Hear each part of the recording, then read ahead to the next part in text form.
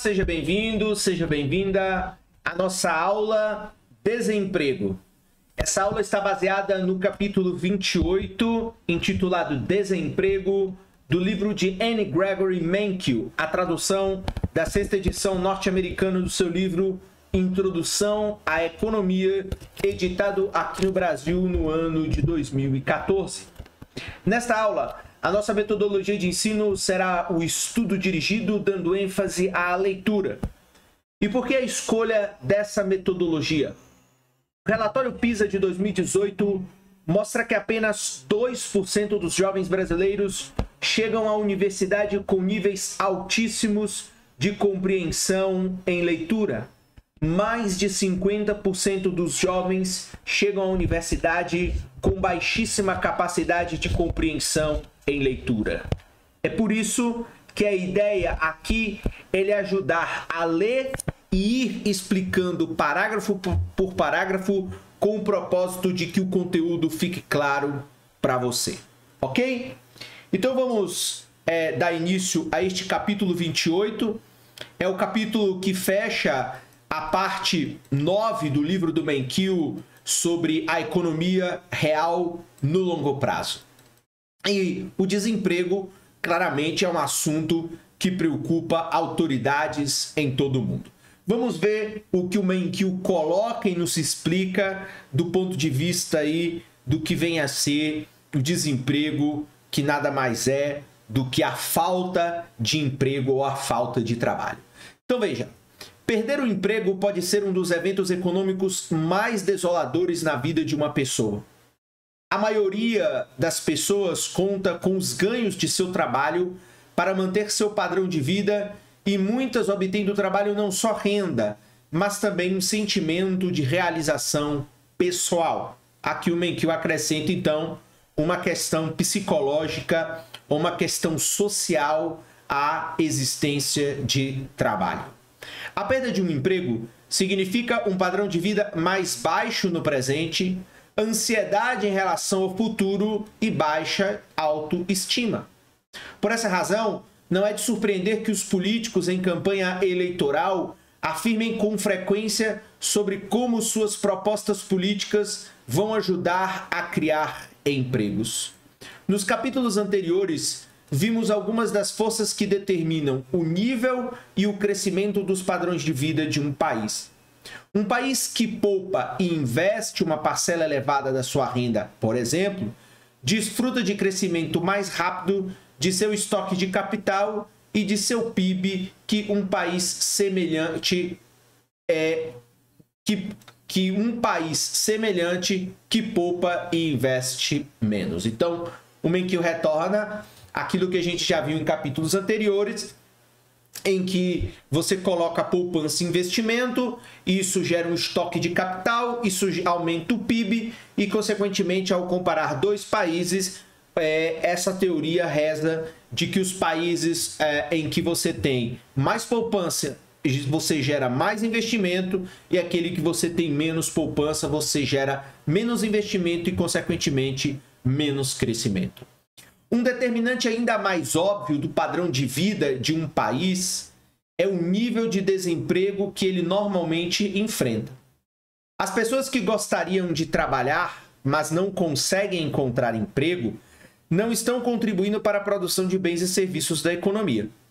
Embora certo grau de desemprego seja inevitável em uma economia complexa, o que seria claramente aí o tal do emprego, desemprego estrutural, com milhares de empresas e milhões de trabalhadores, o nível de desemprego varia substancialmente ao longo do tempo e de país para país.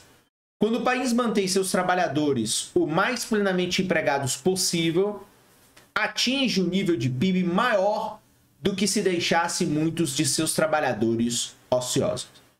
Este capítulo dá início ao nosso estudo sobre desemprego. O problema do desemprego costuma ser dividido em duas categorias: o problema de longo prazo e o problema de curto prazo. A chamada taxa natural de desemprego da economia refere-se ao nível de desemprego que a economia apresenta normalmente. Portanto, a taxa natural de desemprego refere-se a um nível de desemprego que a economia ela sempre apresenta. É normal ter alguma taxa de desemprego.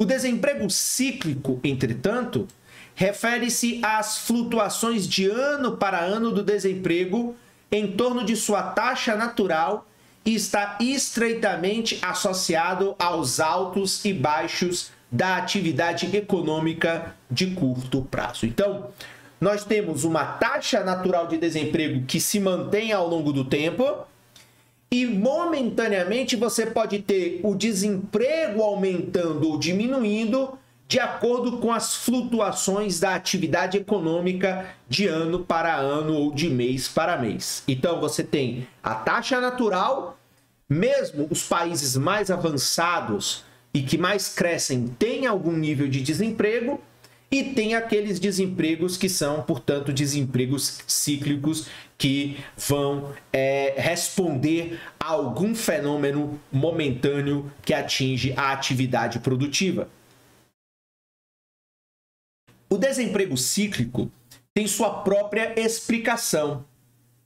E adiaremos até depois de termos estudado as flutuações econômicas de curto prazo mais adiante. Neste capítulo, vamos abordar os determinantes da taxa natural de desemprego de uma economia.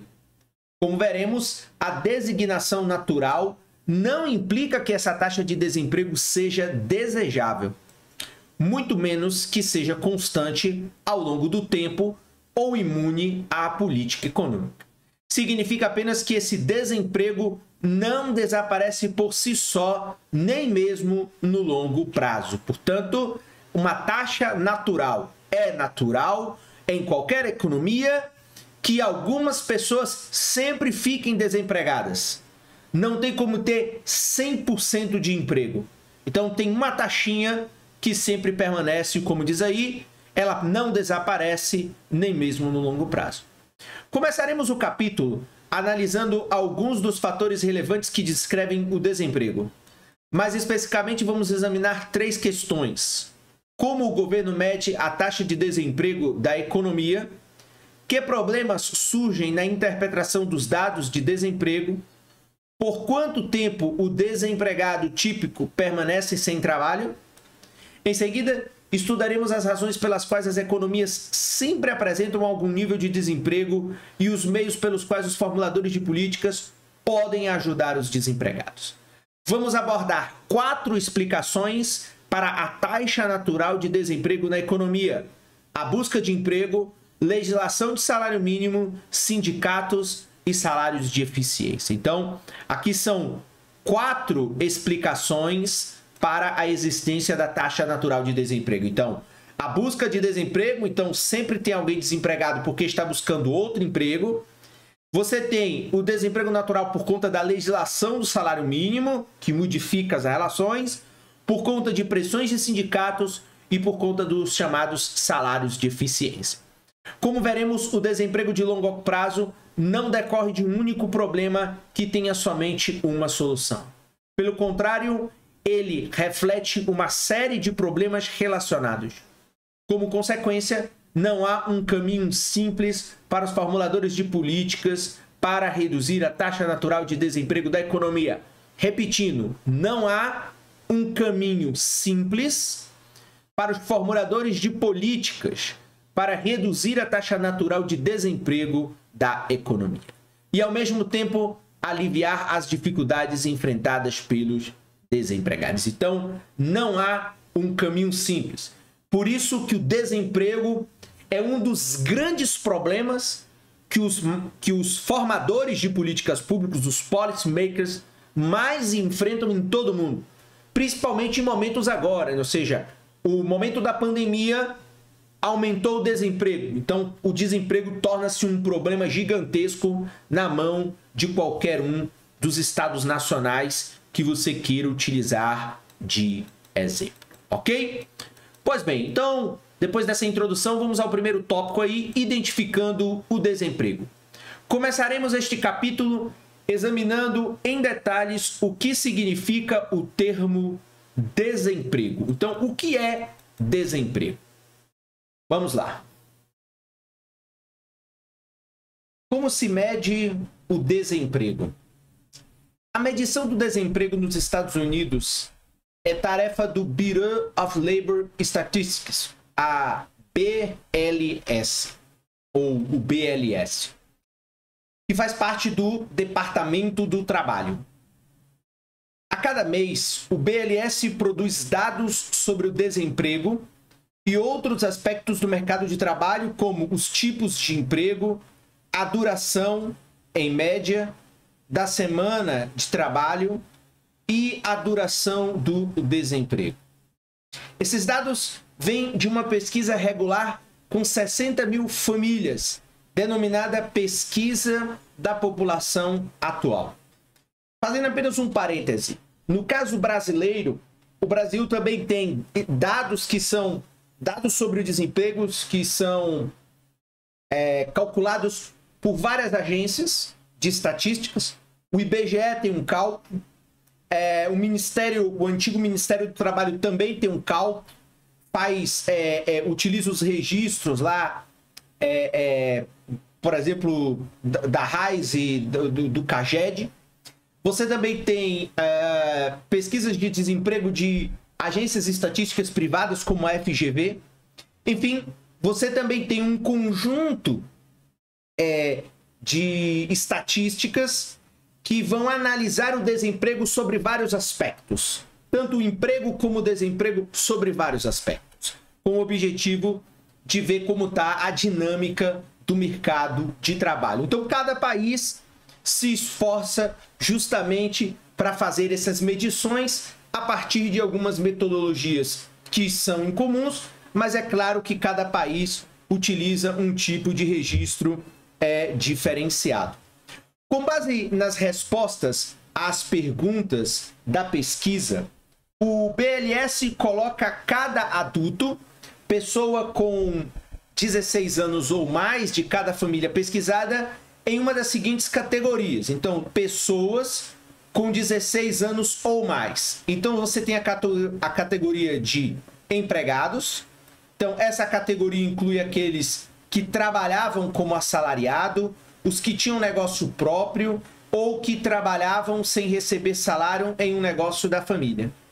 Também inclui aqueles que trabalham em período integral ou meio período e os que estavam temporariamente afastados do trabalho em decorrência de férias, doença ou mau tempo. E você tem os desempregados. Então, esta categoria vai incluir, portanto, aqueles que não estavam empregados, que estavam disponíveis para o trabalho e que estiveram procurando uma colocação nas quatro semanas anteriores. E esse último aspecto também é fruto de uma grande quantidade de polêmicas no caso brasileiro, porque, por exemplo, se a pessoa não estiver procurando emprego, pressupõe-se que ela não está desempregada. Mas ao passo que ela começa a procurar emprego, ela, portanto, está desempregada porque ela quer trabalhar, mas não encontra uma colocação. Então veja aí que esse conceito ele se aplica no caso aqui do livro do Benkill, por ser um livro é, é de um autor norte-americano, é claro que ele aqui traz as realidades é, dos Estados Unidos. Também inclui aqueles que estavam esperando ser chamados para o trabalho do qual haviam sido dispensados temporariamente. Então, nós temos, portanto, duas grandes categorias aí, os empregados e os desempregados. E temos também aí a, o fora da força de trabalho.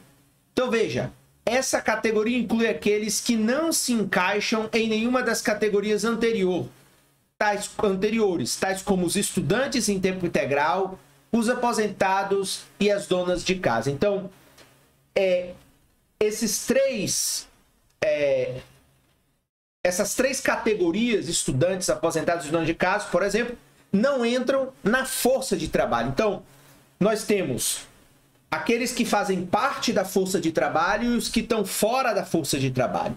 Aqueles que querem estar ou que, ou que a população economicamente ativa, no caso do Brasil, aí você tem a, a, as, as subcategorias de empregado e de desempregado. A figura 1 mostra essa divisão para o ano de 2009. Uma vez que o BLS tenha enquadrado todas as pessoas abrangidas pela pesquisa em alguma das categorias, ele calcula diversas estatísticas para resumir a situação em que se encontra o mercado de trabalho. O BLS define força de trabalho como a soma dos empregados e desempregados. Então, força de trabalho, empregados e desempregados, e aqueles que estão fora da força de trabalho. Então, a força de trabalho, portanto, nada mais é do que aqueles que estão empregados mais o número de desempregados. O BLS define a taxa de desemprego como percentual da força de trabalho que está desempregado. Portanto, como é que você vai calcular a taxa de desemprego? Então, você vai pegar o número de desempregados, aqueles que fazem parte da força de trabalho, aqueles que querem trabalhar, aqueles que fazem parte da população economicamente ativa, dividido pela força de trabalho para multiplicar e, depois multiplica por 100 para encontrar a taxa de desemprego. Portanto, a taxa de desemprego ela, ela, ela vai ser calculada baseado apenas na força de trabalho. Não inclui aí os que estão fora da força de trabalho. Então, por exemplo, você não vai incluir, no caso aqui, como a gente viu nos parágrafos anteriores, os aposentados. Então, os aposentados não fazem mais parte da força de trabalho, a não ser que eles passem, por exemplo, a procurar emprego. Aí eles voltam a fazer parte da força de trabalho. O BLS calcula taxas de desemprego para toda a população adulta e para grupos de definição mais limitada. Então aí faz uma série de outras é, estatísticas paralelas quando você calcula as taxas de desemprego. Então, vai calcular a quantidade de negros, de brancos, de homens, de, de mulheres e assim por diante, que portanto é, fazem parte aí é, do cálculo relativo à força de trabalho. Então, é, quando é, as agências de estatística ou os departamentos dos governos ou os ministérios do trabalho ou as agências que cuidam é, é, do emprego e da renda fazem um cálculo das taxas de desemprego, eles utilizam essa pesquisa de é, é, emprego e desemprego para fazer uma série de outras análises para ver, por exemplo, será que a taxa de desemprego é maior entre negros ou é maior entre brancos? Será que a taxa de desemprego é maior entre jovens ou é maior entre pessoas com mais idade? Então, você utiliza essas estatísticas para construir uma série de dados para fazer uma análise, é, por exemplo, das políticas públicas é, de emprego. O BLS usa a mesma pesquisa para produzir dados sobre a participação na força de trabalho. Então veja, a taxa de participação na força de trabalho mede o percentual da população adulta total dos Estados Unidos que está na força de trabalho. Então esse cálculo também tem no Brasil, aí apenas acho que muda um pouco a nomenclatura que em vez de força de trabalho, no Brasil as estatísticas, se eu não estou enganado, utilizam a nomenclatura a população economicamente ativa e a população é, economicamente inativa. Então, por exemplo, você não vai considerar na força de trabalho uma criança. Então, veja, a taxa de participação da força de trabalho, então a força de trabalho é dividido pela população adulta, ou seja, como a gente viu aí nos parágrafos anteriores, aqueles com mais de 16 anos, no caso aqui das estatísticas dos Estados Unidos. Então, a população adulta com mais de 16 anos é o que vai estar aí nesta, é, nesta divisão. E a força de trabalho é aquilo que nós vimos anteriormente, que refere-se, portanto, é, ao número de empregados mais o número de desempregados. Ok? Aqui na figura 1, portanto, é, é um gráfico que deixa mais claro a divisão da população em 2009. Então veja, a população adulta dos Estados Unidos é, em 2009 era de 235 milhões é, de pessoas. Então 235 milhões. Desses 235 milhões que são adultos, apenas 154 milhões são considerados força de trabalho ou população economicamente ativa. 81 milhões estão fora do mercado, estão fora da força de trabalho. Portanto, dessa força, qual é a taxa de desemprego? A taxa de desemprego vai ser de 14 milhões, referente à força de trabalho de 154 milhões, revelando, portanto, aí é uma, uma quantidade de 139 milhões de empregados. Portanto, o BLS, no caso dos Estados Unidos, divide a população adulta em três categorias. Então eu tenho dentro da população adulta, portanto aqui tudo aqui é população adulta, eu vou ter os empregados, os desempregados e os fora da força de trabalho, portanto aí fazendo uma análise é, deste mercado de trabalho no caso aí dos Estados Unidos. E a partir desse, uh, desses dados, você consegue definir a taxa de desemprego, ou seja, aqueles 14 milhões, 14,3 milhões de desempregados representam uma taxa de desemprego de quanto em relação à força de trabalho. Então vamos lá ver como é que isso é feito de maneira simples e o Menkil coloca isso aqui de uma maneira bem intuitiva. Então veja, esta estatística indica a parcela da população que optou por participar do mercado de trabalho então veja, a taxa de participação na força de trabalho, tal como a taxa de desemprego, é calculada para toda a população adulta e para grupos mais específicos. Para ver como esses dados são calculados, observe lá os dados de 2000, 2009 que vimos aí na figura número 1. Veja, nesse ano havia 139,9 milhões de pessoas empregadas e 14,3 milhões de pessoas desempregadas. Então, a força de trabalho, qual é a equação? Nada mais é do que somar os empregados mais os desempregados, resultando em 154,2 milhões de pessoas que fazem parte de cidadãos, homens, mulheres, negros, brancos, jovens, meia-idade e idosos que fazem parte, portanto, desta força de trabalho, no caso aqui dos Estados Unidos, em 2009. E aí a taxa de desemprego, como a gente viu anteriormente, nada mais é do que a divisão entre o desemprego, 14,3 milhões de desempregados, dividido por 154,2 milhões, que são aqueles que compõem a força de trabalho, vezes 100, isso vai resultar, portanto, em um desemprego de 9,3% em relação à força de trabalho, não em relação à população total. E veja, como a população adulta era de 235,9 milhões, qual é a taxa de participação na força de trabalho? Então, a taxa de participação na força de trabalho nada mais é do que, portanto, 154,2 milhões de trabalhadores, que são aqueles que compõem a força de trabalho, dividido pela população total, 235,9 milhões vezes 100. Portanto, em 2009, em 2009 nos Estados Unidos, a força de trabalho correspondia a 65,4% da população dos Estados Unidos. Os outros restantes aí, cerca de 35,6%, né? 6 aqui, 5 vai 1, 4, 100.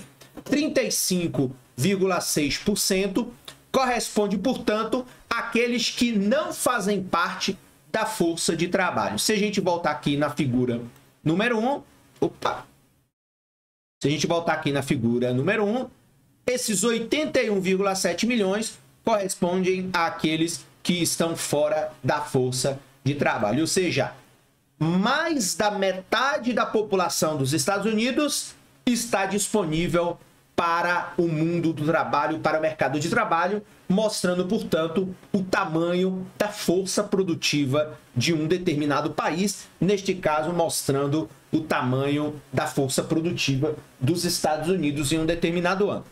Assim, em 2009, veja, quase dois terços da população adulta norte-americana participavam do mercado de trabalho, dos quais 9,3 estavam sem trabalho. A tabela 1 mostra as estatísticas de desemprego e de participação na força de trabalho para vários grupos da população dos Estados Unidos. Três comparações são as mais evidentes. Primeiro, as mulheres com 20 anos ou mais têm menor taxa de participação na força de trabalho que os homens, mas, uma vez inseridas na força de trabalho, apresentam taxas de desempregos menores que as dos homens. Portanto, as mulheres com 20 anos ou mais têm menor taxa de participação. Portanto, os homens jovens nos Estados Unidos acessam mais ao mercado de trabalho.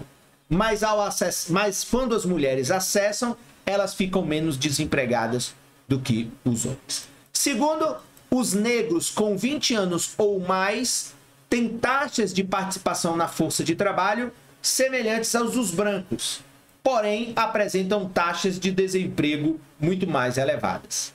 Terceiro, os adolescentes apresentam baixas taxas de participação na força de trabalho e taxas muito mais elevadas de desemprego que a população em geral. Então veja, as pesquisas sobre o mercado de trabalho podem proporcionar às autoridades políticas, aos gestores das políticas é, de emprego e de renda, uma série de dados que vão permitir que o governo realize políticas públicas de fomento, de requalificação, de educação em parcelas da população que representam maiores taxas de desemprego. Então, é claro que quando a gente tem lá a taxa de 9,3%, essa é uma taxa média geral.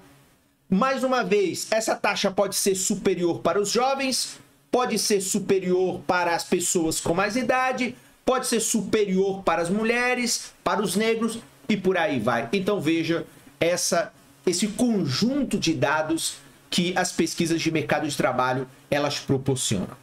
Em termos mais gerais, esses dados mostram que as condições existentes no mercado de trabalho, portanto, o que eu frisei, variam muito entre os diversos grupos da economia. Então, cabe repetir, em termos mais gerais, esses dados mostram que as condições existentes do mercado de trabalho variam muito entre os diversos grupos da economia. Os dados é, do BLS sobre o mercado de trabalho também permitem aos economistas e formuladores de políticas monitorar mudanças na economia ao longo do tempo. Portanto, os dados é, do, do agente público que faz o monitoramento das estatísticas do trabalho, portanto, os dados do BLS sobre o mercado de trabalho, também permitem aos economistas e aos formuladores de políticas, ou aquilo que em alguns livros se chamam de policy makers, permitem monitorar mudanças na economia ao longo do tempo. Então veja a importância de cada país ter um conjunto de dados estatísticos que permitam conhecer o funcionamento, a dinâmica e as complexidades do mercado de trabalho. A figura 2 mostra a taxa de desemprego nos Estados Unidos desde 1960. A figura indica que a economia sempre apresenta algum desemprego e que a taxa varia de ano para ano. A taxa normal de desemprego em torno da qual a taxa de, a taxa normal, desculpa, a taxa normal de desemprego em torno da qual a taxa de desemprego flutua é chamado, o que a gente viu lá nos primeiros parágrafos, de taxa natural de desemprego, ou seja, um percentual da população que nunca consegue achar emprego. E o desvio da taxa de desemprego em relação a essa taxa natural é chamado, portanto, de desemprego, é chamado, portanto, de desemprego cíclico. A taxa natural de desemprego da figura mostra uma série de estimativas feitas muito abaixo pelo escritório é, de orçamento do Congresso americano Congressional Budget Office. Para 2009, foi estimada uma taxa natural de 5%, próxima da taxa de desemprego real de 9,3%. Ou seja, esse 5% significa aquela taxa normal de desemprego. Sempre vão ter pessoas desempregadas que nunca vão conseguir achar emprego. E esse percentual da força de trabalho, no caso do que foi estimado aqui nos Estados Unidos, é de 5%. O que significa que um desemprego de 9,3% está significando que o mercado de trabalho, portanto, ele está bom. Ou seja, está quase perto do chamado pleno emprego, porque mesmo que tenha essa taxa natural de 5%, se a economia de fato está com um desemprego de 5%, considera-se do ponto de vista teórico que essa economia ela atingiu o pleno emprego. Portanto, a taxa natural de desemprego nada mais é do que a taxa normal de desemprego, a taxa normal de desemprego em torno da qual a taxa de desemprego ela flutua. Mais adiante, discutiremos as flutuações econômicas de curto prazo, incluindo as flutuações do desemprego de ano para ano em torno de sua taxa natural. No restante deste capítulo, contudo, ignoraremos as flutuações de curto prazo e examinaremos por que sempre, veja, então, examinaremos por que sempre há algum desemprego nas economias de mercado. Portanto, porque sempre há algum desemprego nas economias de mercado. E o desemprego cíclico, aquele que em determinados momentos pode aumentar, em outros pode diminuir, nada mais é do que o desvio do desemprego em relação à sua taxa natural. Vamos voltar aqui e ver tanto a figura 2 como a tabela número 1. Um. Então veja, os dados estatísticos produzidos em um determinado país podem permitir aos agentes públicos, aos formuladores de política, aos economistas, um conjunto de dados, digamos, de subdados, de microdados que permitem com que esses agentes públicos, gestores da política de trabalho, percebam como funciona a dinâmica de trabalho entre as várias diferenças ou características que o mercado de trabalho pode ter: idade, gênero, cor de pele, origem, enfim, étnica, origem de nacionalidade e assim por diante. Portanto, veja, o mercado de trabalho de acordo com vários grupos demográficos. Então você pode aqui, já que o autor adiciona o termo demográfico, portanto, você pode analisar o mercado de trabalho a partir de várias características demográficas. Então, você pode aí ter um conjunto de questões que permitem você ver é, é, os substratos do desemprego, os detalhes do desemprego, quando você está falando aí de analisar um pacote de dados estatísticos de mercado de trabalho. Esta tabela mostra a taxa de desemprego e a taxa de participação na força de trabalho de vários grupos em 2009. Então veja, você tem o grupo demográfico, você separa aqui por idade, né? Então aqui duas é, adultos 20 anos ou mais velhos, adolescentes entre 16 e 19, e aí você pode colocar branco homem, branco mulher, negro homem, negro mulher e analisar o desemprego. Então veja, o desemprego de adultos com mais de 20 anos é maior entre negros homens. E nos adolescentes também é maior entre negros homens.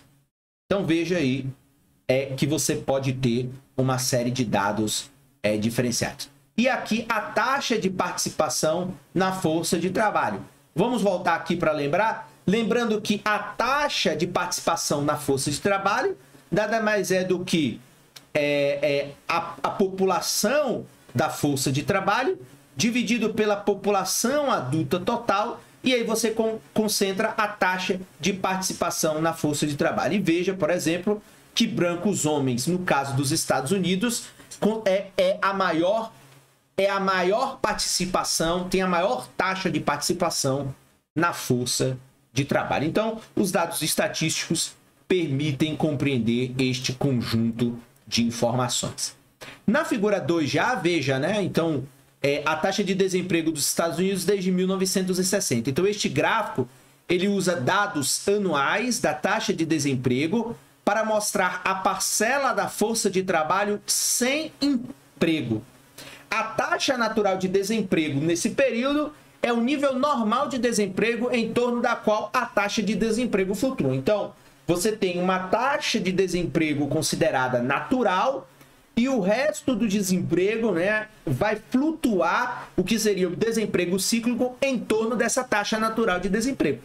E aqui no caso dos Estados Unidos é em torno de 5%. Então veja, você que tem aqui a curva de 5% e aqui você tem as várias taxas de desemprego. Então veja, na última crise aqui de 2008, 2009, veja como o desemprego ele explodiu, ele foi para mais ou menos aí 10%, quando a taxa natural é de 5. Portanto, uma situação é, em que o mercado ele está é, é, numa situação é, não muito favorável. Mas veja, há outros momentos de expansão econômica, como aqui nos anos 90, que o desemprego ele cai. Veja que aqui ó, ele está abaixo da taxa natural de desemprego, mostrando, portanto, aí é, um, uma série de dados históricos que permite compreender claramente como funciona o mercado de trabalho, neste caso aqui, como funciona o mercado de trabalho nos Estados Unidos. Mas isso nós podemos fazer também é, para outros países, ou pode fazer, nós podemos fazer para o Brasil,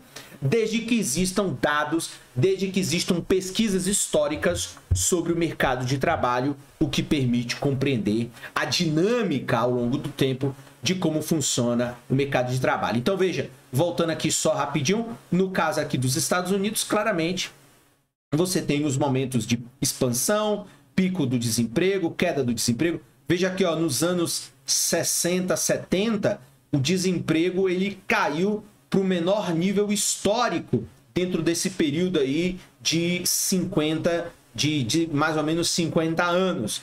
Então, ali você já tinha uma situação lá de 4, 3%, mostrando que em determinados momentos você pode ter uma redução do desemprego cíclico ou uma expansão do desemprego cíclico em torno lá da taxa natural de desemprego. Bem, agora o Menguil coloca aqui um estudo de caso, né? Participação de homens e mulheres na força de trabalho na economia norte-americana. O papel das mulheres na sociedade norte-americana mudou drasticamente durante o século passado, né? Estamos falando aí do século XX. Observadores sociais apontaram diversas causas para essa mudança. Ela pode ser atribuída, em parte, a novas tecnologias como a máquina de lavar, a secadora de roupas, a geladeira, o freezer e a máquina de lavar pratos, que reduziram o tempo necessário para concluir as atividades domésticas rotineiras. Em parte, essa mudança pode ser atribuída a um aperfeiçoamento do controle de natalidade que reduziu o número de filhas, de filhos da família típica. E naturalmente, essa mudança no papel da mulher é também parcialmente atribuída a alterações nas atitudes políticas e sociais que, por sua vez, foram provocadas pelos avanços tecnológicos e de controle de natalidade. Juntos, esses fatos tiveram um impacto profundo sobre a sociedade em geral e a economia em particular. Em nenhum outro lugar, esse impacto se mostrou mais evidente que nos dados sobre a participação na força de trabalho. A figura 3 mostra as taxas de participação na força de trabalho de homens e mulheres nos Estados Unidos desde 1950. Logo após a Segunda Guerra Mundial, homens e mulheres tinham papéis muito diferentes na sociedade apenas 33% das mulheres estavam empregadas ou em busca de emprego, em comparação com 87% dos homens. Passadas algumas décadas, a diferença entre as taxas de participação de homens e mulheres foi diminuído gradualmente à medida que um número crescente de mulheres ingressou na força de trabalho e alguns homens a deixaram. É, os dados de 2009 mostram que mostram que 59% das mulheres estavam na força de trabalho em comparação com 72% dos homens. Então veja é, a ampliação ainda, ou seja, do ponto de vista histórico é interessante quando um país tem esses dados registrados para você ver como a composição do mercado de trabalho ela vai ganhando alteração. Ainda tem um predomínio masculino, mas as mulheres quase que dobraram a sua participação é, na força de trabalho no caso da economia americana. Em conformidade com os dados de participação na força de trabalho, Atualmente, homens e mulheres desempenham um papel mais equilibrado na economia. O aumento na participação das mulheres na força de trabalho é fácil de entender, mas a queda na participação dos homens pode parecer estranha. Há vários motivos para esse declínio. Primeiro, os homens jovens hoje estudam durante mais tempo que seus pais e avós. Segundo, os homens mais velhos hoje se aposentam mais cedo e vivem mais tempo. E terceiro, com mais mulheres empregadas, mais pais permanecem em casa para criar os filhos. Estudantes em tempo integral, aposentados e pais que ficam em casa são em casa são considerados, portanto, fora da força de trabalho. E se a gente for ver o gráfico aqui, olha que interessante, é quando um país como os Estados Unidos, que eles têm uma tara por estatística, o que é, o que é muito legal para economistas, né, como eu, é que você consegue ter uma, uma fotografia histórica de como a sociedade e a economia ela vai se modificando ao longo do tempo.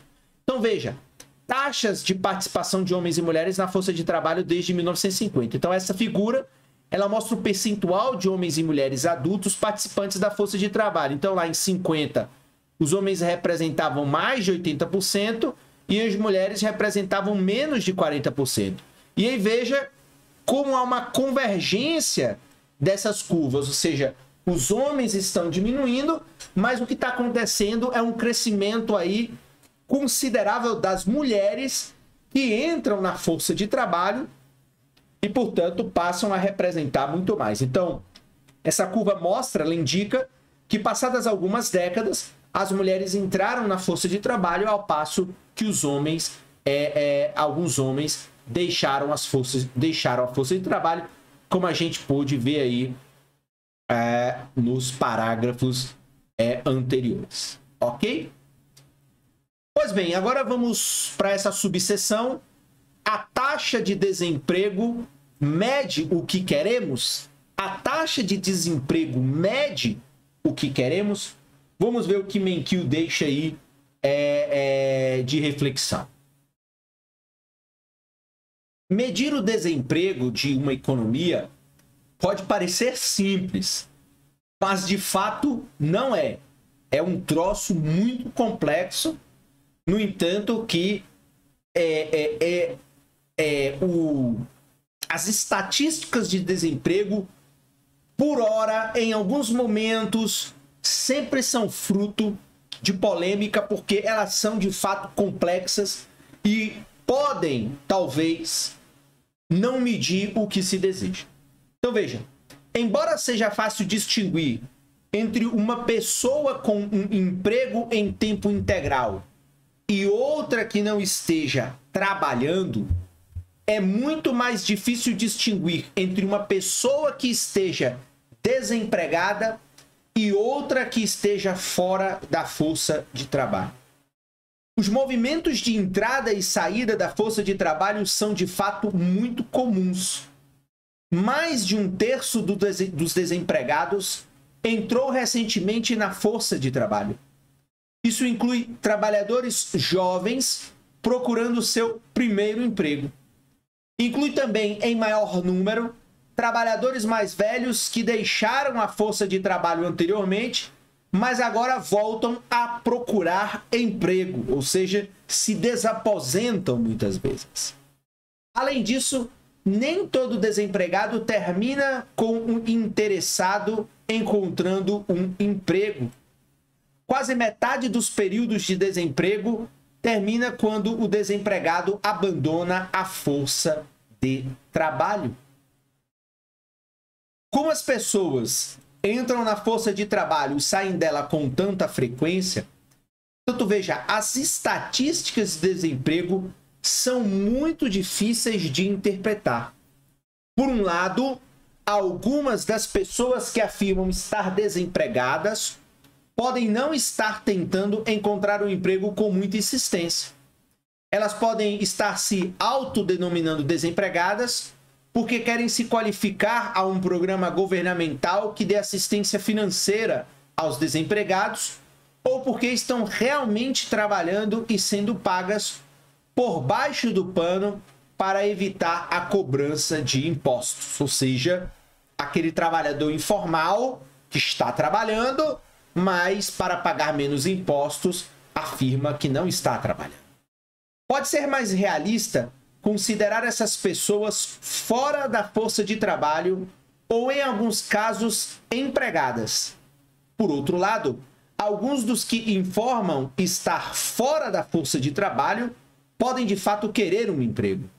Então veja, essas pessoas podem ter tentado encontrar emprego e desistido depois de uma busca infrutífera, ou seja, que aqui no Brasil nós chamamos de desalentados, ou seja, aqueles que procuram, procuram, procuram, não acham emprego e chega uma hora desistem, ficam em casa sem fazer nada.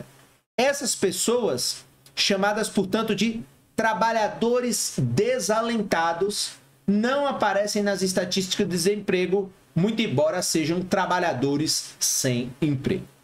Então veja, na tabela 2 aqui,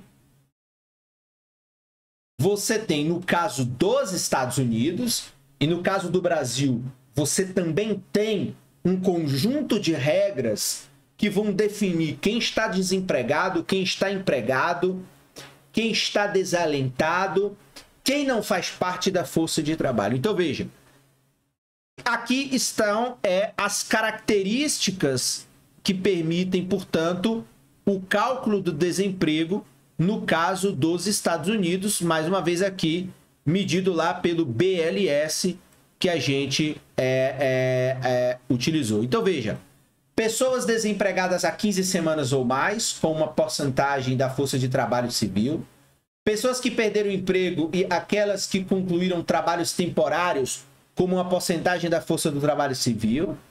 Total de desempregados com uma porcentagem da força de trabalho. Total de desempregados mais trabalhadores desalentados. Total de desempregados mais todos os trabalhadores marginalizados, como uma porcentagem da força de trabalho civil mais todos os trabalhadores marginalizados. E o total de desempregados mais todos os trabalhadores marginalizados, mais o total dos que têm emprego de meio período, por razões econômicas, com uma porcentagem da força de trabalho civil, mais o total de trabalhadores marginalizados. E aqui neste quadro se acrescentam alguns outros conceitos. Trabalhadores marginalizados são aqueles que no momento não estão nem trabalhando nem procurando trabalho, mas demonstram que desejam um emprego e que estão disponíveis para ele tendo procurado trabalho em algum momento do passado recente. Os desalentados, que é um subconjunto dos marginalizados, que são aqueles que já desistiram de procurar trabalho, procuram, procuram, não acham, desistem. E pessoas com trabalho de meio de período por razões econômicas, são aquelas que desejam um emprego, estão disponíveis para é, trabalhos em tempo integral, mas tiveram que aceitar um trabalho de meio período, portanto, digamos, que é, a gente poderia também dar num conceito simples, que são os trabalhadores ociosos, ou seja, eu quero trabalhar oito horas por dia, mas me oferecem um trabalho apenas é, de quatro de quatro horas. Então, isso são pessoas é, com trabalho de meio período por razões é, econômicas. Então, veja que as taxas aqui elas se modificam. Né? Então, nessa última opção, a taxa de desemprego ela é maior conforme você vai adicionando mais alguns elementos ao cálculo do desemprego. Então você pode aqui, no primeiro cálculo, tanto dizer que você está falando aí que o desemprego pode ser de 5% ou pode ser de 17%, a depender do que você inclua na, na, na sua contabilidade, inclua aí na sua estatística. Por causa desses outros problemas, o BLS, o BLS calcula, portanto, diversas outras medidas de desemprego além da taxa oficial. Essas medidas alternativas são apresentadas, portanto, na tabela número 2, conforme nós vimos aqui. Então você tem várias formas de calcular o desemprego e aí veja que cada um vai mostrar uma fotografia diferente, porque você vai adicionando subdetalhes a essa estatística que permitem ver de fato o que está acontecendo com o mercado de trabalho, dado que pode parecer simples o cálculo, mas é uma estatística extremamente complexa. No final, é melhor considerar a taxa oficial de desemprego como uma média útil, porém imperfeita, do próprio desemprego. Ok? Por quanto tempo, por quanto tempo os desempregados ficam sem trabalho? Quando se avalia a gravidade do problema do desemprego, uma questão a considerar é se o desemprego é tipicamente uma situação de curto prazo ou de longo prazo. Se o desemprego é de curto prazo, pode-se concluir que não é um problema muito importante, ou seja, quando a pessoa fica desempregada por alguns períodos do ano, mas nos outros meses ela consegue um trabalho. Ou ela pode fazer combinações de trabalhos diferentes. Os trabalhos podem precisar de algumas semanas. A, desculpa, os trabalhadores podem precisar de algumas semanas até encontrar a vaga que melhor se ajuste às suas preferências e habilidades. Porém, se o desemprego ele é de longo prazo, pode-se concluir que é um problema importante. E aí ganha o termo que eu já utilizei em um parágrafo anterior, que quando temos um desemprego que perdura por muito tempo, estamos falando de um desemprego estrutural. Então veja, os trabalhadores que ficam desempregados por muitos meses têm maior probabilidade de enfrentar dificuldades econômicas e psicológicas. Como a duração do desemprego pode afetar nossa visão a respeito da gravidade do problema, os economistas dedicaram grandes esforços ao estudo de dados sobre a duração dos períodos de desemprego. Nesse trabalho descobriram um resultado importante, sutil e aparentemente contraditório. A maior parte dos períodos de desemprego é breve, e a maior parte do desemprego observado em qualquer período de tempo dado é de longo prazo. Então, repetindo, a maior parte dos períodos de desemprego é breve. E a maior parte do desemprego observado em qualquer período de tempo dado é de longo prazo. Então vamos, vamos ver como é, que se, como é que funciona isso. Para entendermos como essa afirmação pode ser verdadeira, vamos considerar um exemplo. Suponha que você visite o órgão do governo para o desemprego semanalmente, durante um ano, para pesquisar os desempregados. A cada semana, você con constata que há quatro trabalhadores desempregados. Três deles são as mesmas pessoas durante todo o ano, enquanto o quarto é uma pessoa que muda a cada semana. Com base nessa experiência, você diria que o desemprego é tipicamente de curto prazo ou de longo prazo? Então veja, alguns cálculos simples ajudam a responder a essa questão. Nesse exemplo, você encontra um total de 55 pessoas desempregadas no período de um ano. Destas, 52 ficam desempregadas por uma semana e 3 o ano inteiro. Portanto, 52 dividido por 55, ou seja, 95% do período de desemprego são de uma semana. Por isso, desemprego breve. Contudo, os centros de atendimento para desempregados mostram que três em cada quatro pessoas estão desempregadas o ano inteiro. Portanto, Embora 95% dos períodos de desemprego acabem em uma semana, 75% são atribuídos aos indivíduos que ficam desempregados durante o ano inteiro. Durante um ano inteiro. Nesse exemplo, assim como na realidade, a maior parte, portanto, dos períodos analisados de desemprego é curta. Assim como a maior parte do desemprego observado em qualquer período é considerado de longo prazo. Se você não entendeu, volta aí de novo é, a leitura e passa quantas vezes for necessário para você é, compreender. Portanto, veja, a maior parte dos períodos de desemprego é curta. Assim como a maior parte do desemprego observado em qualquer período é, portanto, de longo prazo. Essa conclusão sutil implica que os economistas e formuladores de políticas devem ser cuidadosos ao interpretar, devem ser, portanto, cuidadosos, devem ser cuidadosos ao interpretar dados sobre o desemprego e ao conceber políticas para ajudar os desempregados. A maioria das pessoas que fica desempregada logo encontrará um emprego.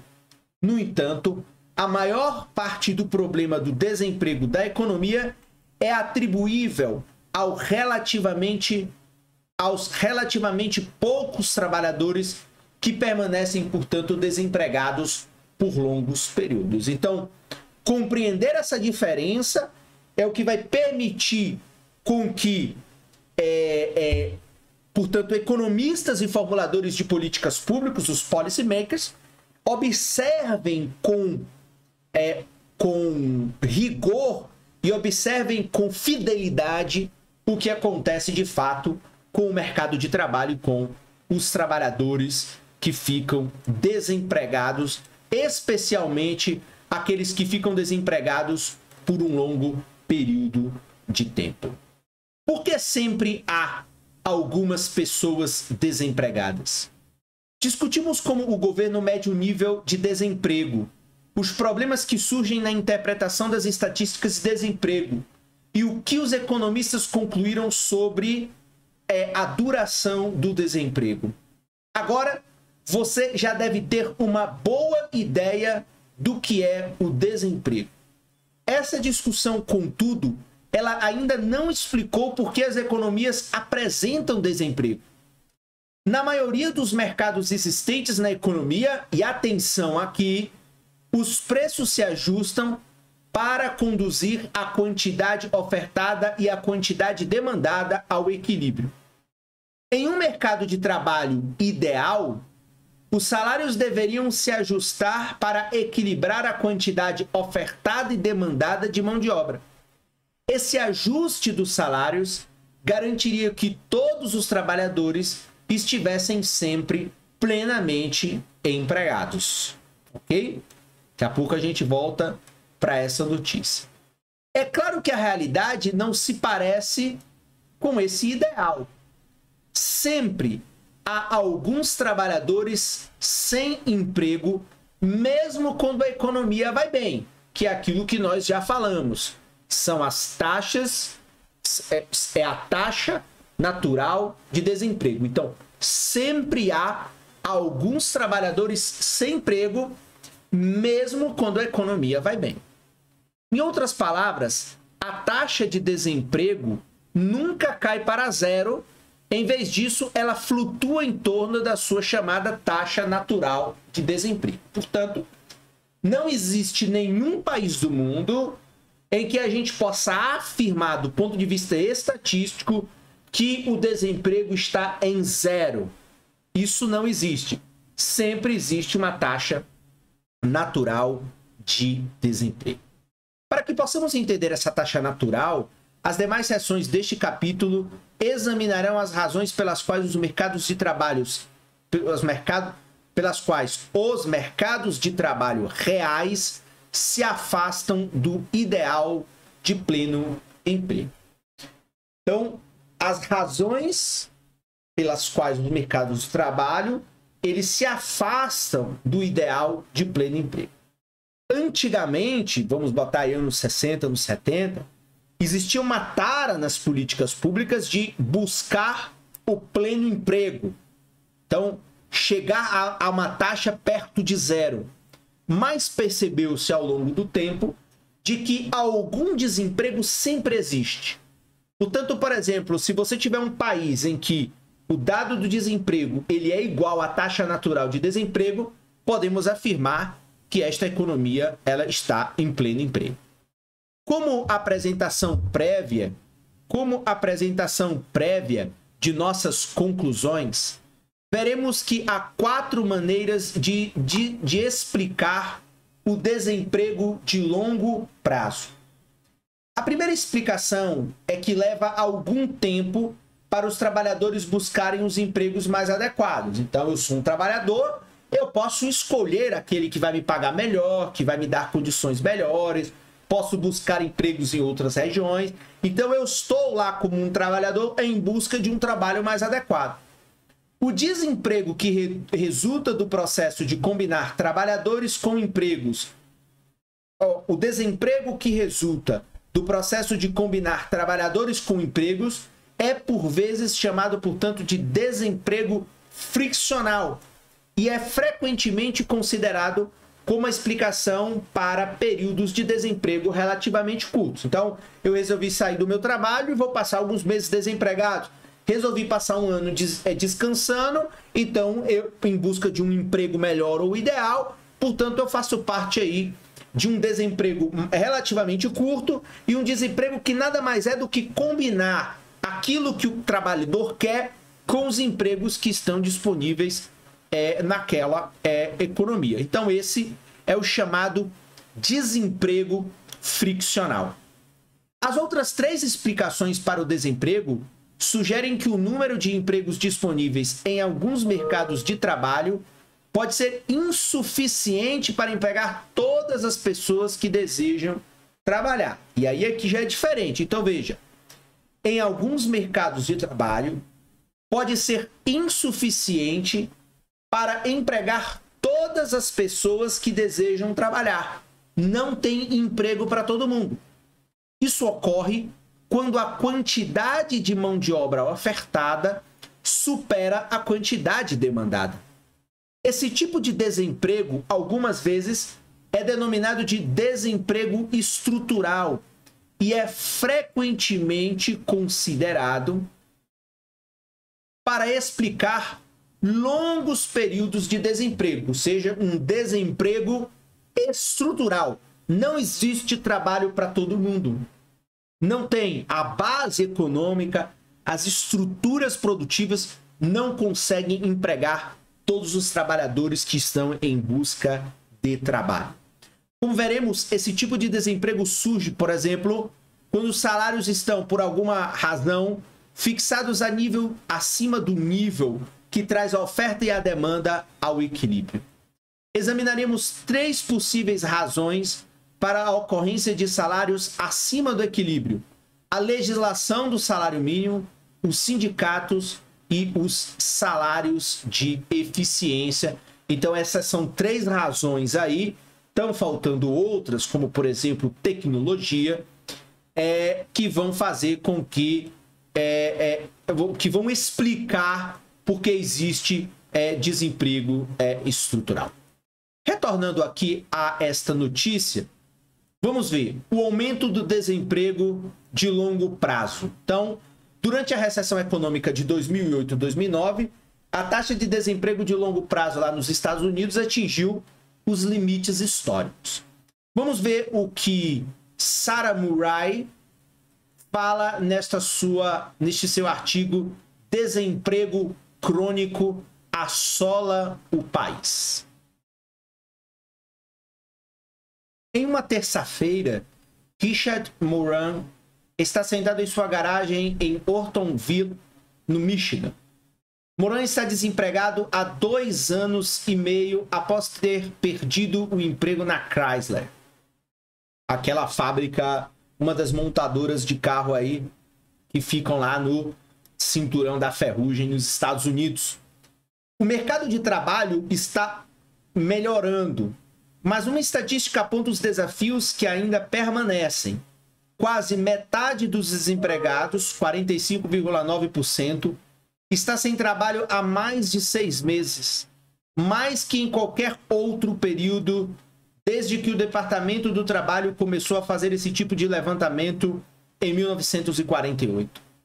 Mesmo nos piores meses do início da década de 80, quando a taxa de desemprego superou os 10% por meses a fio, apenas um em quatro dos desempregados estava sem trabalho havia mais de seis semanas.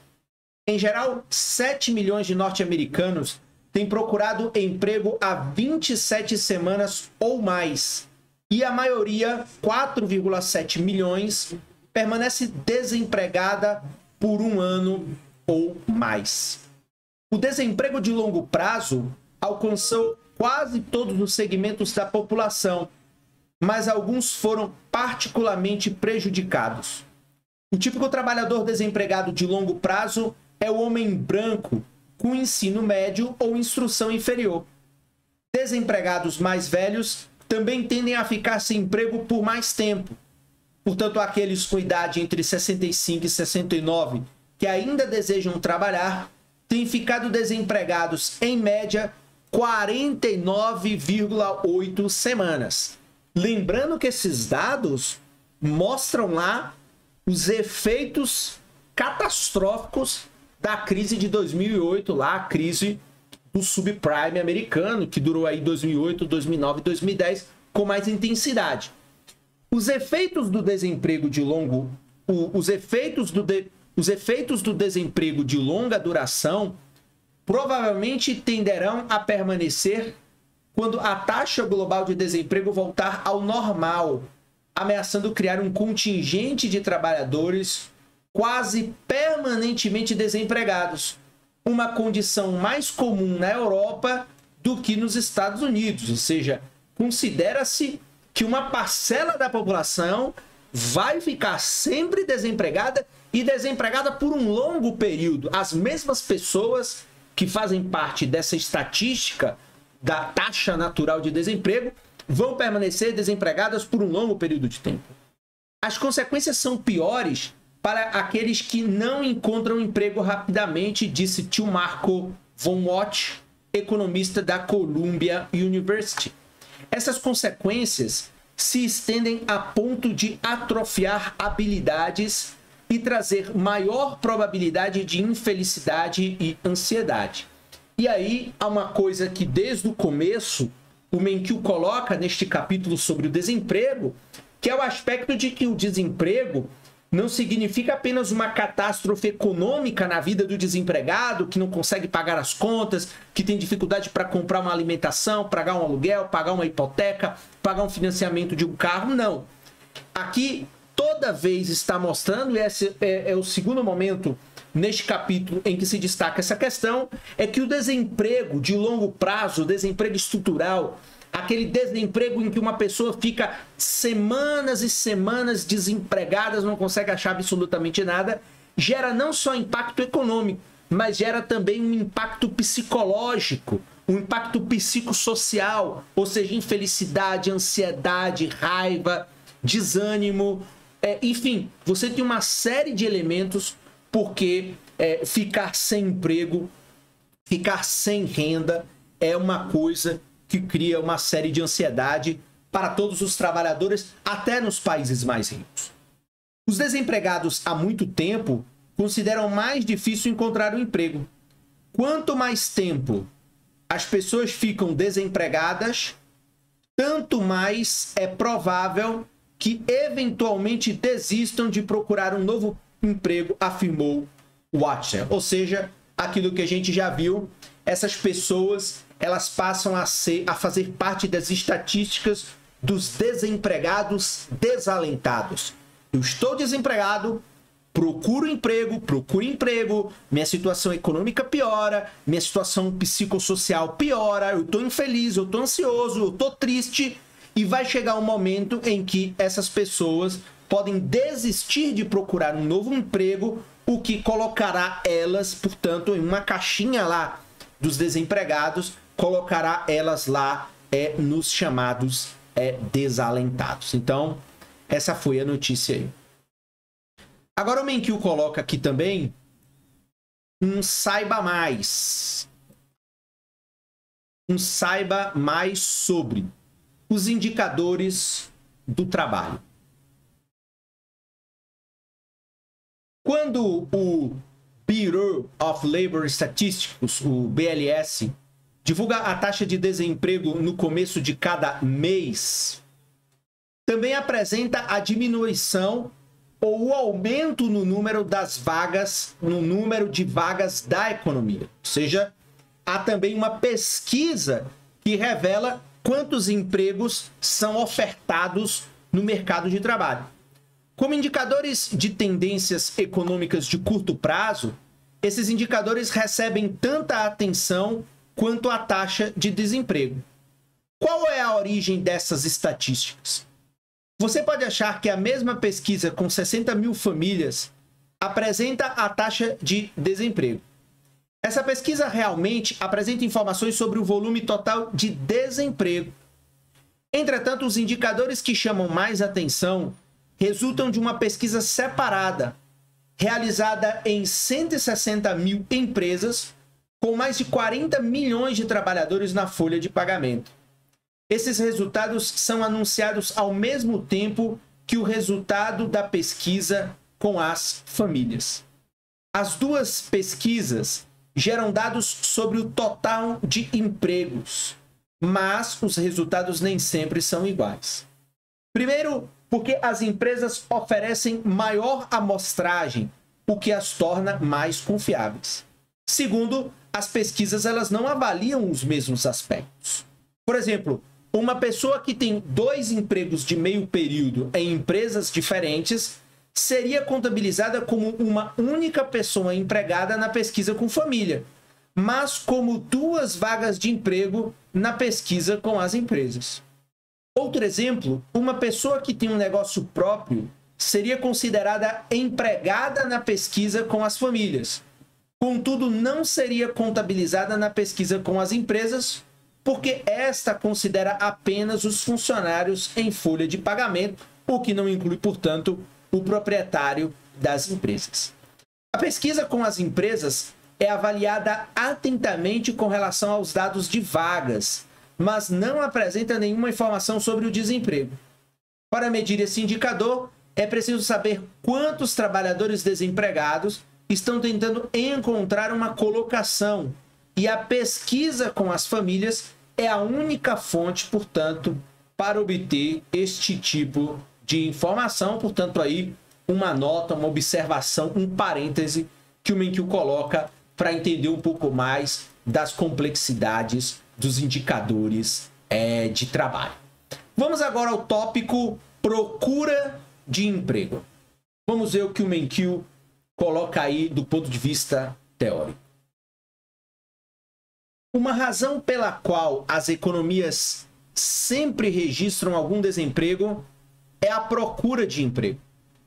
A procura de emprego é o processo de ajustar trabalhadores com trabalhos apropriados.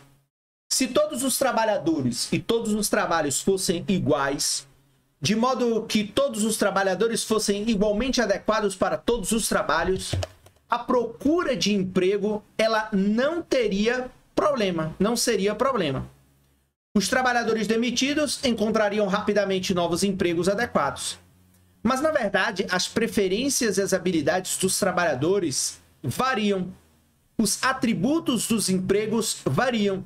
E as informações sobre candidatos a empregos e empregos oferecidos se disseminam lentamente entre as muitas empresas e famílias que compõem uma determinada economia. Então, o desemprego existe porque as pessoas procuram um emprego, procuram aqueles empregos que vão se adaptar às suas habilidades, às suas preferências, que vão aos seus atributos. É, esse, esse emprego, ele ora pode estar sendo ofertado pela empresa, ora não. Enfim, re, você vai ver a remuneração, o ambiente de trabalho. Tem as questões geográficas que são importantes também, enfim, por conta das especificidades dos empregos. Enfim, você tem uma série de elementos que fazem com que o, o, exista em qualquer economia a procura de emprego. E é isso, portanto, que explica, em parte, porque sempre existe desemprego. Por que o desemprego?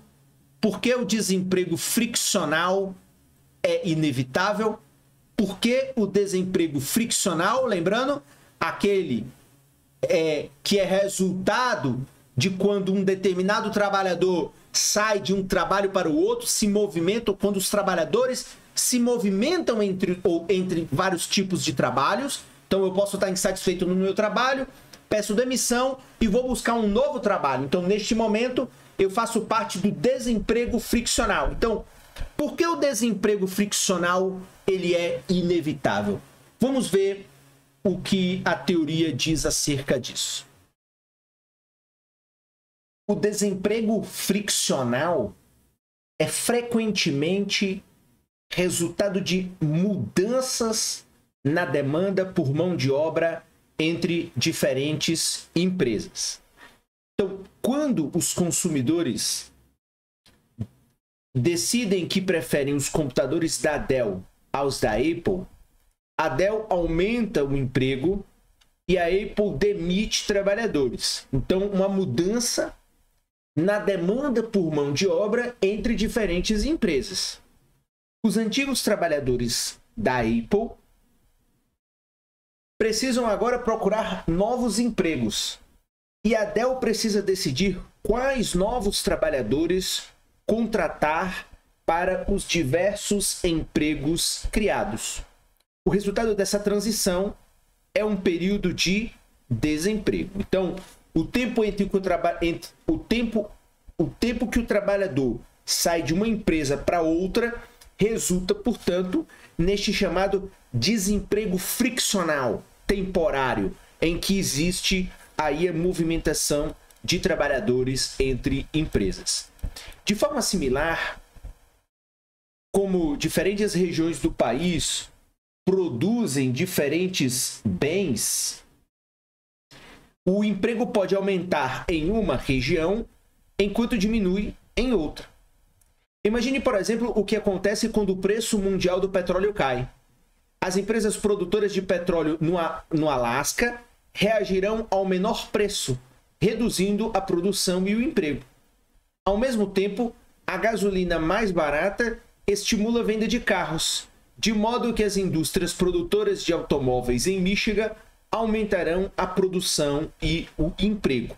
Então, claramente, apenas fazendo um parêntese aqui, o desemprego friccional, portanto, ele revela aquela situação em que o próprio movimento econômico de, em determinados momentos, mais demanda em uma atividade produtiva do que outra, faz com que os trabalhadores se movimentem é, de maneira cíclica ou, ou, ou, sazonal entre esses variados é, é, é trabalhos entre essas variadas empresas. Então, o oposto aqui acontece com o aumento do preço do petróleo. Então, em determinado momento, uma atividade produtiva ela está em alta, ela passa a contratar mais trabalhadores, outras vão estar tá em baixa, vão demitir trabalhadores e assim a gente vai tendo uma composição do mercado de trabalho de maneira a entender quais são aí os movimentos friccionais que os trabalhadores fazem, é, é esse, esse momento entre você estar num, num, num tipo de trabalho e passar para outro tipo de trabalho ou em uma determinada empresa passar para outra é, é, empresa.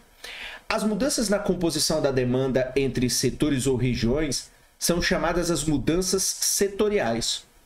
Como leva tempo para que os trabalhadores procurem emprego nos novos setores, as mudanças setoriais causam, portanto, um desemprego temporário. O desemprego friccional é inevitável simplesmente porque a economia está sempre mudando. Então, o desemprego friccional é toda economia sempre vai ter um nível de desemprego friccional. Então, ao longo dos vários meses é, é, é, de um ano, você vai ter é, esse desemprego friccional que nada mais é do que os movimentos, as mudanças que acontecem na economia. Há um século, os quatro setores que empregavam que mais empregavam nos Estados Unidos eram os de produtos de algodão, produtos de lã, vestuário masculino, vestuário masculino e madeira. Hoje, os quatro maiores empregadores são as indústrias automotiva, de aeronaves, de comunicação e de componentes elétricos. Durante essa transição, empregos foram criados em algumas empresas e eliminados em outras. O resultado final desse processo foi maior produtividade e padrões de vida mais elevados. Portanto, veja, os setores mais importantes eles vão mudando ao longo do tempo. Então, você tinha há um século atrás é, quatro setores que empregavam muito, depois você agora tem outros setores que empregam, então, consequentemente, você tem movimento dessa mão de obra.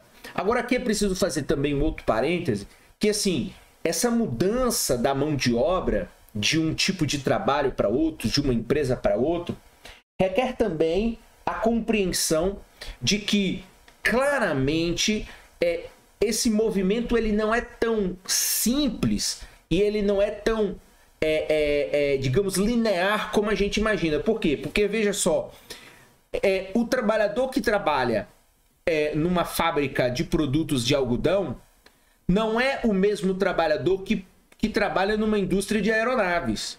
As competências, as habilidades, a formação é completamente diferente. Então, o, o, a população não pode rapidamente ser demitida da indústria de algodão e passar para a indústria de aeronave, porque justamente as habilidades são diferentes. Assim como eu, professor de economia, não posso virar da noite para o dia professor de medicina.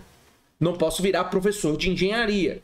Então existe um custo deste movimento quando nós estamos falando ao longo do tempo como isso vai se movimentando. Então veja, durante essa transição, empregos foram criados em algumas empresas e eliminados em outras.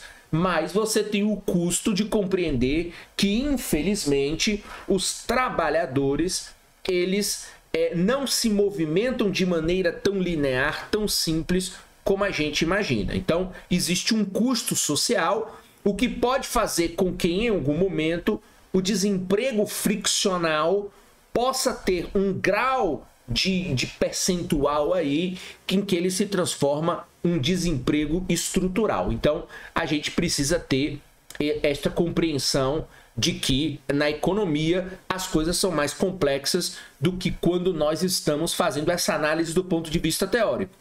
Então, claramente, o resultado dessa transição é mais produtividade e padrões de vidas mais elevados. Mas ao longo do caminho, os trabalhadores de setores em declínio se viram desempregados e procurando novos empregos. Então, os trabalhadores de setores em declínio se viram desempregados e procurando novos empregos. E aí vem o que a observação que eu fiz aí neste momento, sinalizando que claramente você tem a situação em que é, é, essa, essa, essa, essa mudança de trabalho ela não é tão simples como a gente imagina. Há dados que mostram que pelo menos 10% dos empregos industriais norte-americanos são eliminados todos os anos. Além disso, mais de 3% dos trabalhadores deixam voluntariamente seu emprego num mês típico, algumas vezes porque percebem que ele não se ajusta bem às suas preferências e habilidades.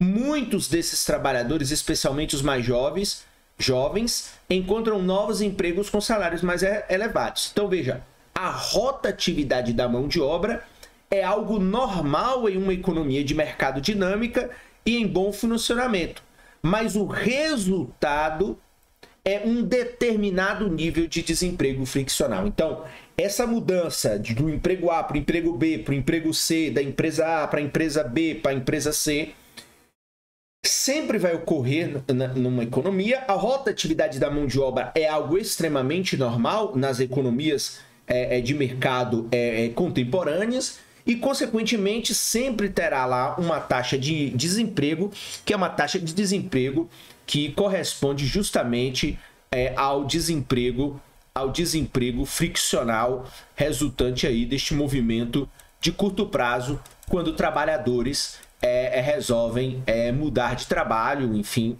por uma série de razões.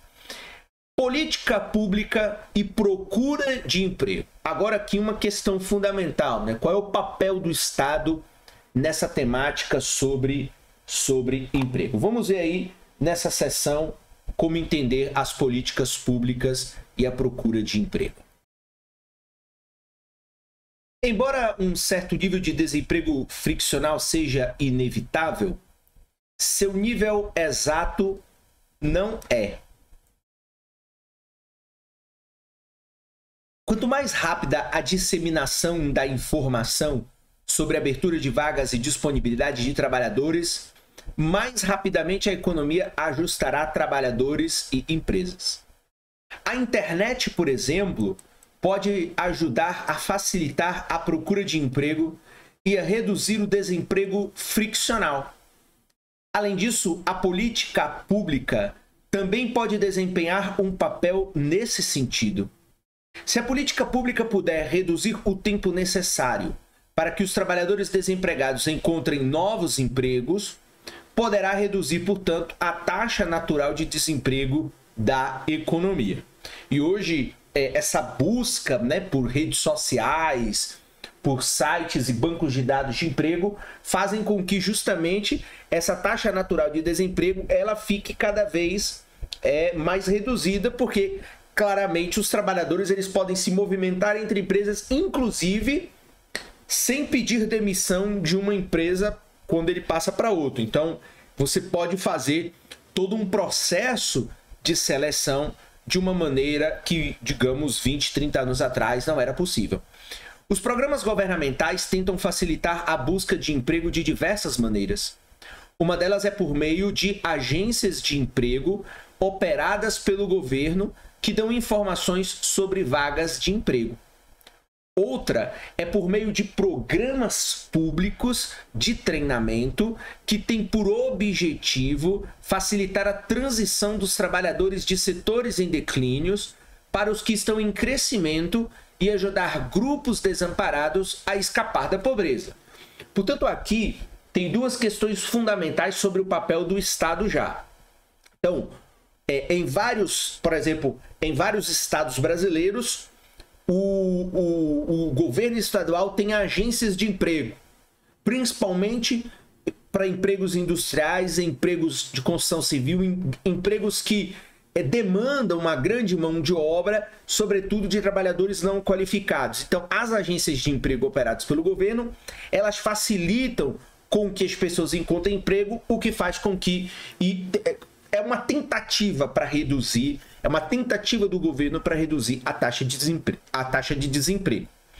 E a outra questão fundamental é que o governo pode estabelecer programas públicos de treinamento que vão permitir, portanto, aquilo que eu falei anteriormente, o parêntese que eu fiz aí alguns parágrafos atrás. Ou seja, se eu tenho um, um trabalhador que trabalha aqui no, no, na fábrica de algodão, fazendo produtos de algodão, se esse emprego ele perde, se essa fábrica entra em declínio, essa atividade, esse setor entra em declínio, para ele passar a trabalhar numa indústria aeronáutica, numa indústria automobilística, ele precisa de um novo treinamento, ou seja, ele precisa se requalificar para fazer essa transição setorial do ponto de vista profissional. Então, veja, o, o, papel do governo no desenvolvimento de programas de treinamento, de requalificação da mão de obra, ajuda os trabalhadores, principalmente os mais pobres e os, e os, os menos qualificados,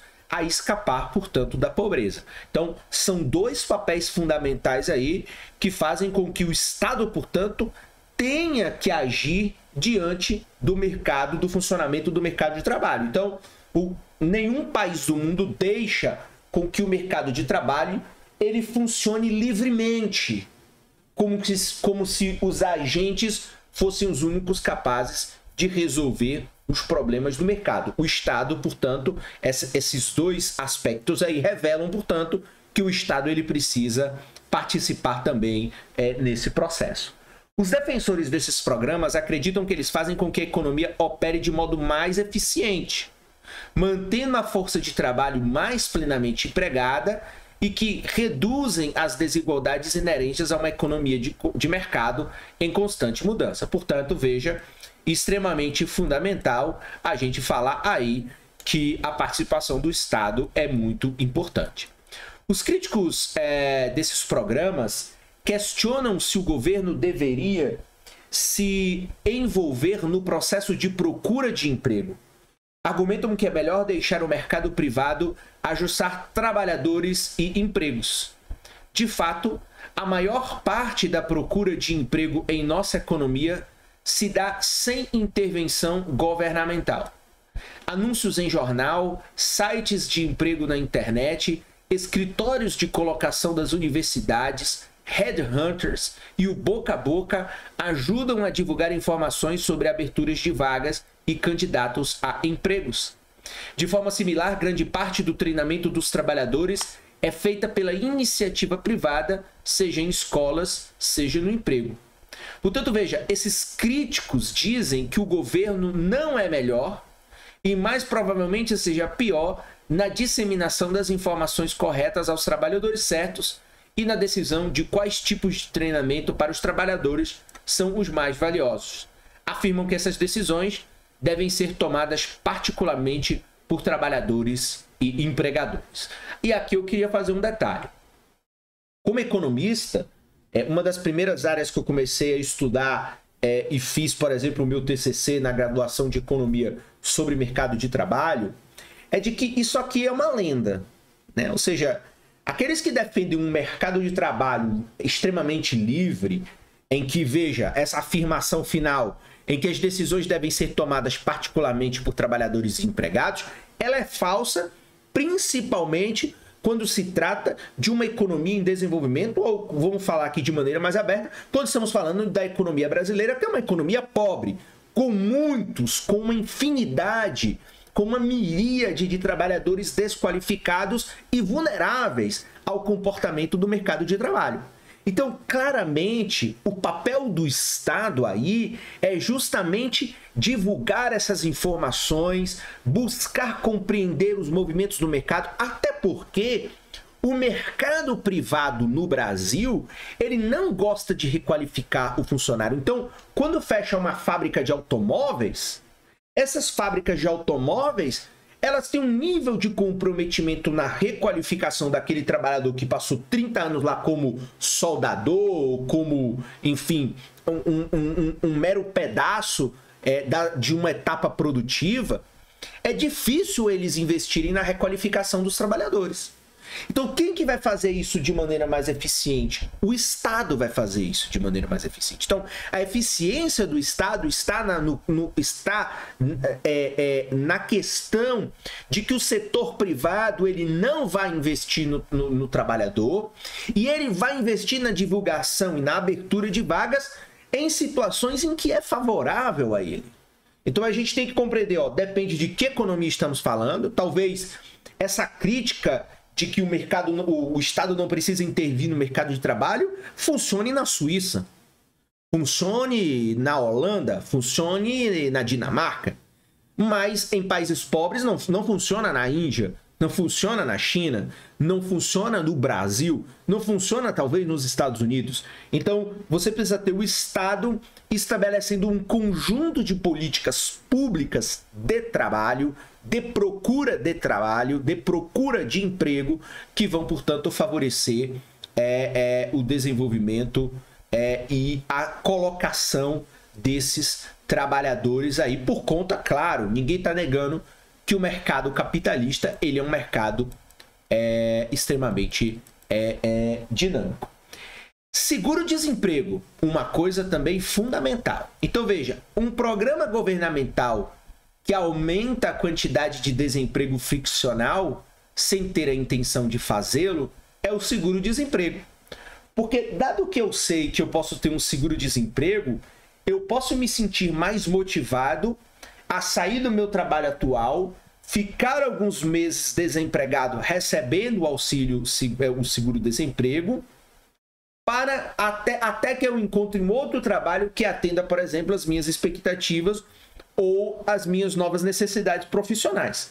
Então veja, esse programa ele é concebido justamente para oferecer aos trabalhadores uma proteção parcial contra a perda do emprego.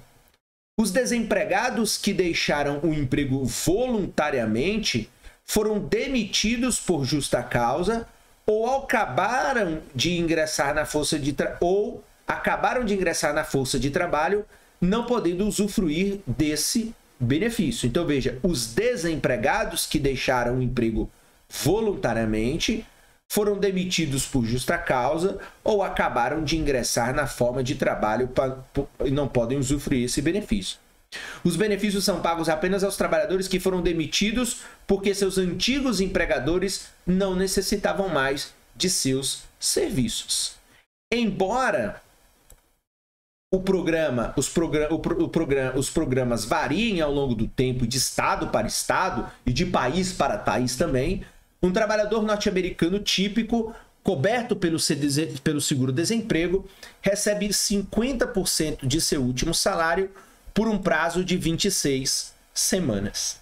Então, embora o seguro-desemprego reduza as dificuldades impostas pelo desemprego, ele também aumenta a quantidade de desempregados. Então, é a afirmação desta teoria, dessa perspectiva analítica. Então, o seguro-desemprego ele pode, ele, ele é muito importante, principalmente em momentos de crise, como agora. O mercado brasileiro vive uma crise ainda por conta dos efeitos da pandemia da Covid-19. O seguro-desemprego é aquilo que permite os trabalhadores, digamos, se salvarem por alguns meses, por algumas semanas, para que eles possam buscar realocação, possam buscar algum grau de qualificação, para que aí então possam voltar ao mercado de trabalho. Então afirmam que esse é, seguro-desemprego ele pode, em alguns momentos, aumentar a quantidade de desempregados, porque pode estimular, por exemplo, o interesse de alguns trabalhadores ficarem algumas semanas por ano, de fato, sem, sem trabalhar. A explicação se baseia, portanto, em um dos 10 princípios de economia no capítulo 1. As pessoas reagem a incentivos. Como os benefícios do seguro-desemprego cessam quando o trabalhador arruma um novo emprego, os desempregados dedicam menos esforços à procura de emprego e têm maior probabilidade de recusar ofertas de emprego pouco atraentes. Além disso, como o seguro-desemprego torna o desemprego menos oneroso, é menos provável que os trabalhadores procurem garantias de estabilidade no emprego ao negociar as condições de, de, de contratação com os empregadores. Então, aqui o Menkil coloca esse parágrafo mostrando, portanto, que os trabalhadores eles podem reagir a determinados é, é, tipos de é, incentivos, como é o caso do seguro do seguro desemprego. Vamos dar uma olhada aqui agora nessa notícia que fala justamente sobre essa questão dos incentivos. Então, como os desempregados respondem aos incentivos? Durante a crise econômica de 2008-2009, Economistas e formuladores de políticas debateram a questão sobre o quanto o sistema de seguro-desemprego estava afetando o comportamento dos trabalhadores desempregados. Então, a afirmação, mais uma vez, de que o seguro-desemprego ele também pode mudar é, é, é, é, o comportamento do trabalhador em torno deste benefício. A longa recessão inflama o debate sobre o seguro-desemprego por Sarah Murray. Gerente de recrutamento de Sacramento, na Califórnia, diz que recentemente teve dificuldades de preencher seis vagas de engenheiro em uma fábrica no Oregon, com salário de 60 mil dólares por ano, e suspeita que os benefícios do desemprego de longo prazo são parte da dificuldade. Chamamos vários engenheiros que estavam desempregados, diz Carl Dance um sócio-gerente da empresa de recrutamento. Entretanto, eles recusaram a oferta. Disseram que, se o salário fosse de 80 mil dólares, pensariam a respeito. Alguns candidatos sugeriram que ele retomasse o contato quando o prazo do seguro-desemprego já tivesse acabado. Rick Gels tem uma opinião diferente sobre seguro-desemprego prolongado. Ele não queria estar desempregado, mas não tinha alternativa.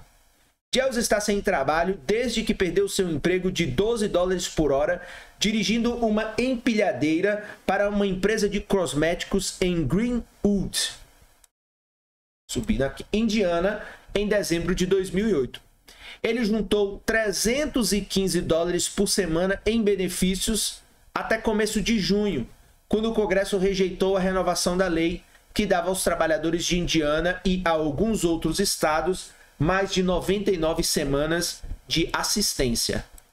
Giles, que procura emprego todos os dias, ainda afirma: Estou cansado de ficar em casa sentado. Estou cansado de não ter de não ser o arrimo de família. Ele e sua esposa agora dependem do trabalho dela como supervisora de distribuição na mesma empresa de cosméticos, onde ganha 480 dólares por semana. Na longa recessão e na recuperação medíocre, o governo expandiu os pagamentos do seguro-desemprego mais que em qualquer época desde que esses benefícios for, foram criados, desde que esse benefício foi concedido em 1930. E os trabalhadores ficaram desempregados por mais tempo que em qualquer outro momento, desde quando os indicadores oficiais começaram lá em 1967. Políticos e economistas promovem, portanto, debates calorosos sobre as consequências desse benefício para os desempregados. Benefícios mais generosos no seguro-desemprego levaram os desempregados a serem mais exigentes nos seus requisitos? É uma pergunta. Ou o programa foi uma resposta prudente diante da pior recessão em gerações? Eu, particularmente como economista, apenas mais uma vez fazendo um parêntese aqui é, no texto do Menkil, eu acho que os benefícios precisam ser generosos até porque, por exemplo, mesmo que o trabalhador ele, ele fique algumas semanas é, é, enfim, dependendo do seguro-desemprego e não queira, não se sente estimulado a voltar ao trabalho, nós estamos falando que esse time, esse tempinho aí em que o trabalhador pode, digamos, fazer uma espécie de descanso, também é importante quando a gente fala aí do ponto de vista sócio-psicológico, sócio-psíquico, quando a gente está falando que é, é, nem tudo é simplesmente dados econômicos, mas também envolvem as questões relativas é, é, à saúde mental dos trabalhadores. Eu acho que isso também precisa ser levado em conta. Então, é, é, os programas precisam ser generosos, precisam compreender os desafios do mercado de trabalho e precisam compreender como foi no caso dos Estados Unidos em 2008 e como agora é o caso em que vivemos no caso da Covid-19, estamos falando que esses programas eles precisam dar cabo e precisam enfrentar os desafios que surgem por conta justamente das recessões ou das condições econômicas que são adversas ou inéditas, como é o caso agora da Covid. Os economistas têm argumentado por anos sobre o quanto os benefícios é, do governo prolongam o desemprego e possivelmente aumentam a taxa global de desemprego. Muitos deles acreditam que ampliar os benefícios desencoraja alguns desempregados a procurar emprego ou a aceitar empregos disponíveis. Mas eles discordam sobre até que ponto isso ocorre de fato, particularmente em um momento em que os empregos são escassos. Segundo Raj Chet, economista da Universidade de Harvard, dada a situação atual da economia, duvido que o efeito seja muito grande. Acredito que as pessoas aceitarão qualquer trabalho que puderem obter.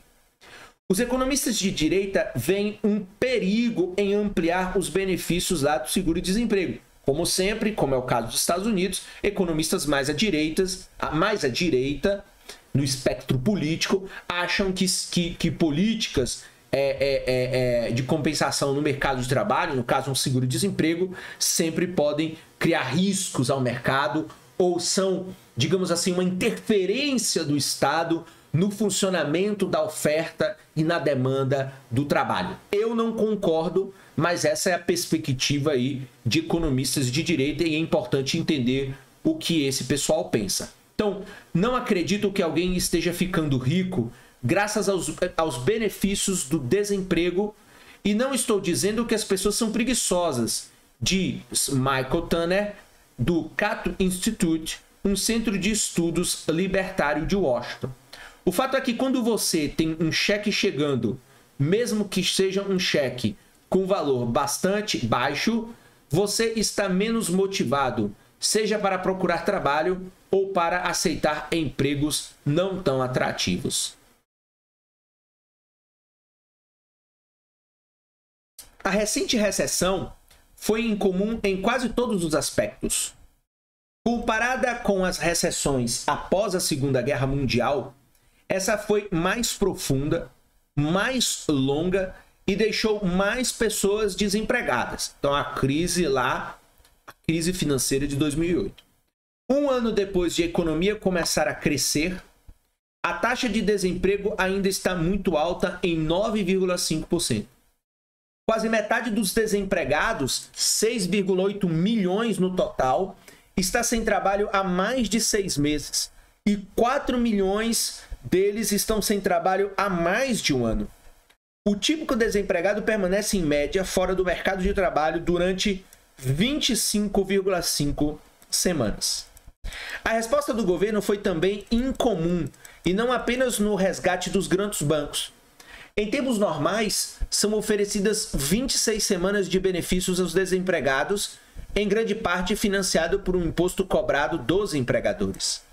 Nas recessões, os governos estaduais e federais muitas vezes financiam em conjunto um adicional de até 20 semanas nos estados mais atingidos. Na última recessão, o Congresso somou mais 53 semanas de benefícios financiados pelo governo federal.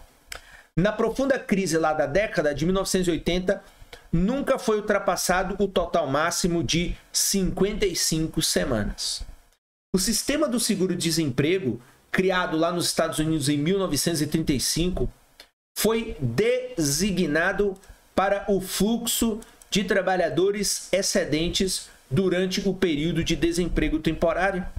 Os benefícios são baseados nos salários anteriores do trabalhador, a média é de 310 dólares por semana.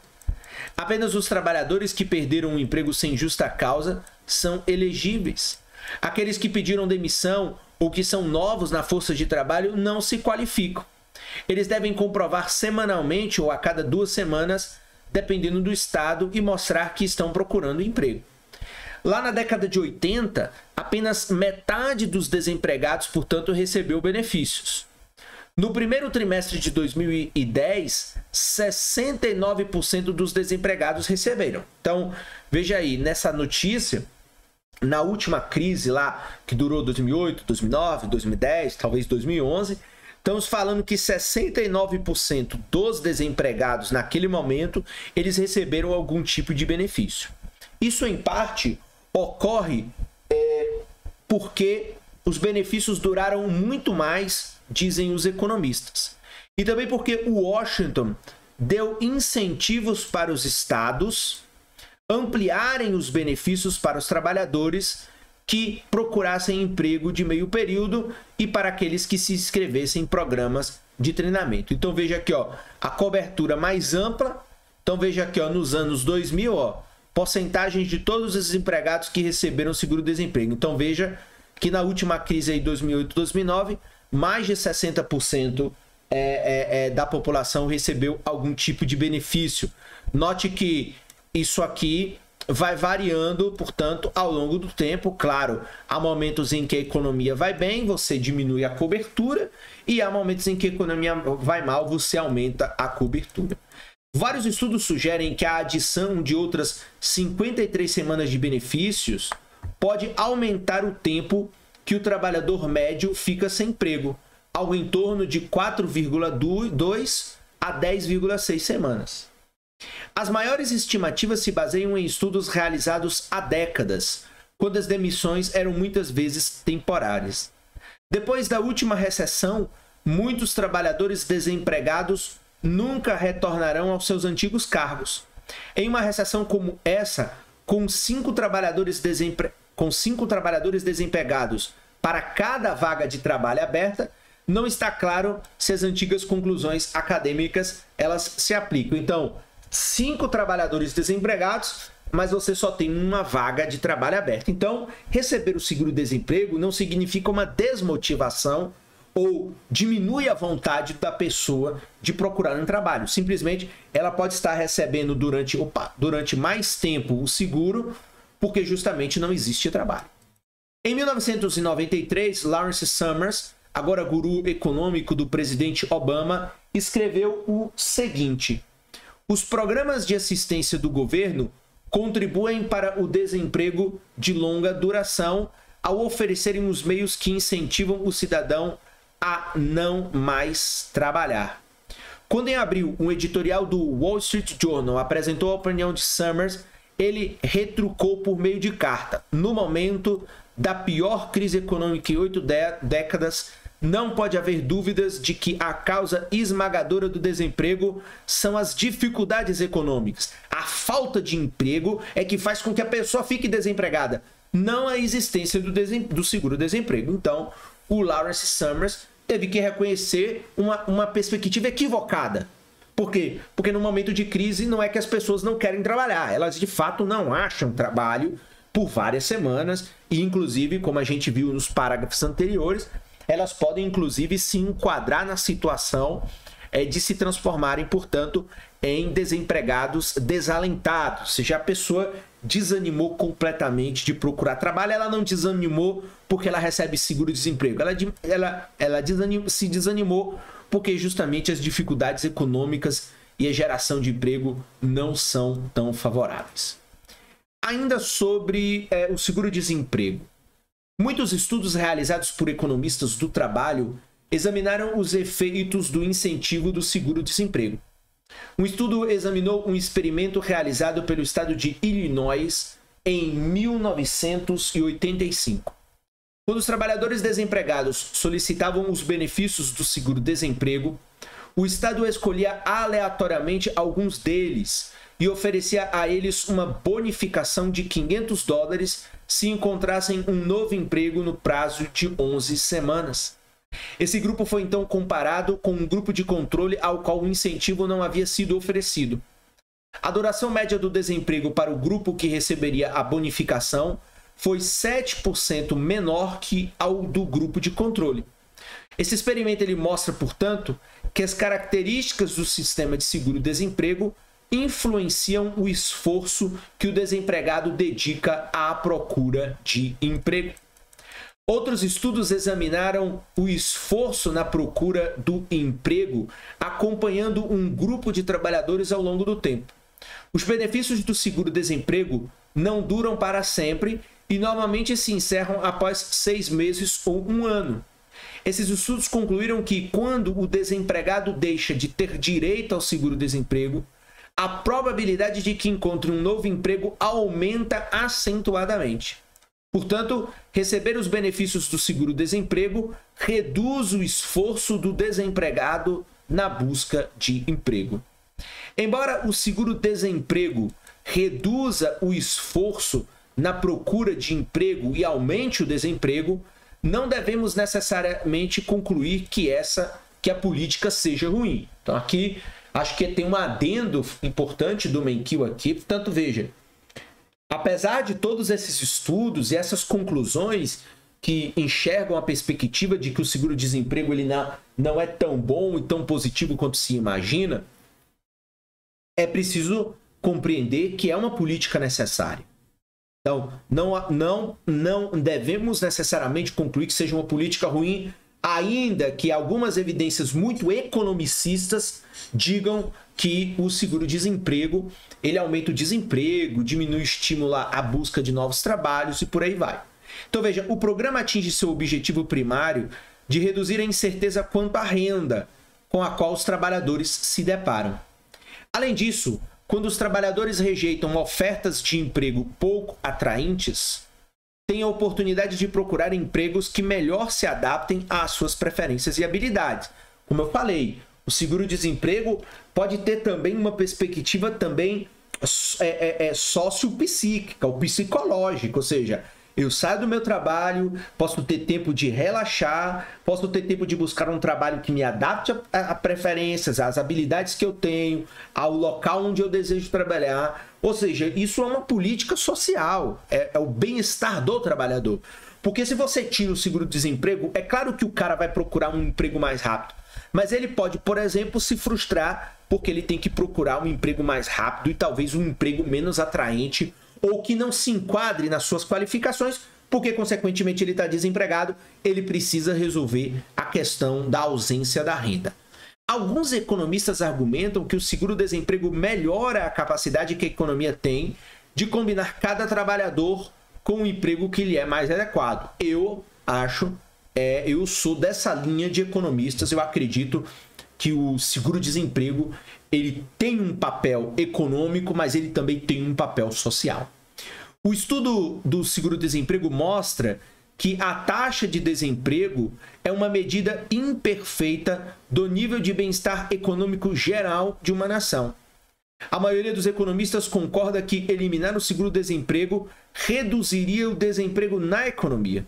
Todavia, não há acordo entre eles sobre se o bem-estar econômico seria aumentado ou diminuído por essa alteração na política. Eu acho que o bem-estar econômico, que não está ausente do bem-estar social ou psicológico da força de trabalho de um determinado país, ou seja, a ausência de uma política é, é, é, é de seguro-desemprego de qualidade é, pode criar um problema ou uma redução do bem-estar econômico. Então, eu acho que é fundamental que países e evidências em países é mais ricos têm mostrado que uma política de seguro-desempregos minimamente razoável ou de requalificação são fundamentais para a manutenção de uma força de trabalho minimamente saudável.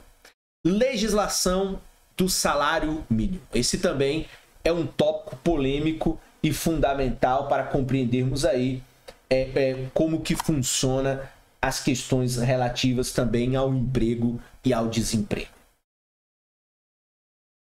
Como visto, o desemprego friccional resulta do processo de combinação entre trabalhadores e empregos. Vamos agora examinar como o desemprego estrutural resulta do número de empregos insuficientes em relação ao número de trabalhadores, ou seja, muitos trabalhadores procurando pouco, poucos empregos. Para entender o desemprego estrutural, é preciso saber como o desemprego surge em decorrência da legislação do salário mínimo. Embora o salário mínimo não seja a razão predominante do desemprego em nossa economia, ele tem um efeito importante sobre certos grupos em que as taxas de desemprego são particularmente elevadas. Além disso, a análise do salário mínimo é um ponto de partida natural, porque, como veremos, ela pode ser usada para entender algumas das outras razões do desemprego estrutural. A figura 4 revê a economia, revê a economia básica do salário mínimo. Quando a legislação do salário mínimo força o salário a se manter acima do nível que equilibra oferta e demanda, ela aumenta a quantidade de mão de obra ofertada e reduz a quantidade de mão de obra demandada em comparação com o nível de equilíbrio. Há um excesso de mão de obra. Como há mais trabalhadores dispostos a trabalhar do que empregos, alguns trabalhadores, neste caso, ficam desempregados. Embora certas leis relacionadas ao salário mínimo sejam um motivo pela qual existe desemprego na economia dos Estados Unidos, ela não afeta todas as pessoas. Muitos trabalhadores recebem é, salários muito acima do valor mínimo. Portanto, a lei não evita que o salário seja ajustado para equilibrar oferta e demanda. Nessa questão, a observação que eu tenho é os salários que são acima do valor mínimo. Então, é claro que existe numa economia empregos que pagam muito bem. Então, a questão não é, não é, não é apenas um equilíbrio entre oferta e demanda de trabalho. Então, a quantidade de trabalhadores que estão no mercado querendo esse salário alto e a quantidade de empregos. O que está por trás aqui e o que justifica o salário ser acima do que, digamos, seria o equilíbrio natural do mercado, deve-se muito à qualificação do trabalhador. Então, trabalhador, trabalhadores mais qualificados em mercados mais exigentes, em mercados mais complexos, permite, portanto, que essa relação é, de mercado entre oferta e demanda de mão de obra pode fazer com que esse equilíbrio ele não se apresente da forma como, por exemplo, trabalhos com menos qualificação, como por exemplo construção civil, você de fato tem aí uma é, é uma lei de oferta e demanda, ou seja, é um trabalho, é um, é um setor que exige muita mão de obra, existe uma oferta gigantesca de mão de obra, é, com pouca qualificação, e, consequentemente, a existência de um salário mínimo pode diminuir a demanda por esse trabalho, porque é, é enfim, você tem uma série de razões por conta justamente aí é, do, do, do tipo de trabalho que é realizado. Portanto, a lei não evita que o salário é, seja, ajust, é, seja ajustado para equilibrar oferta e demanda.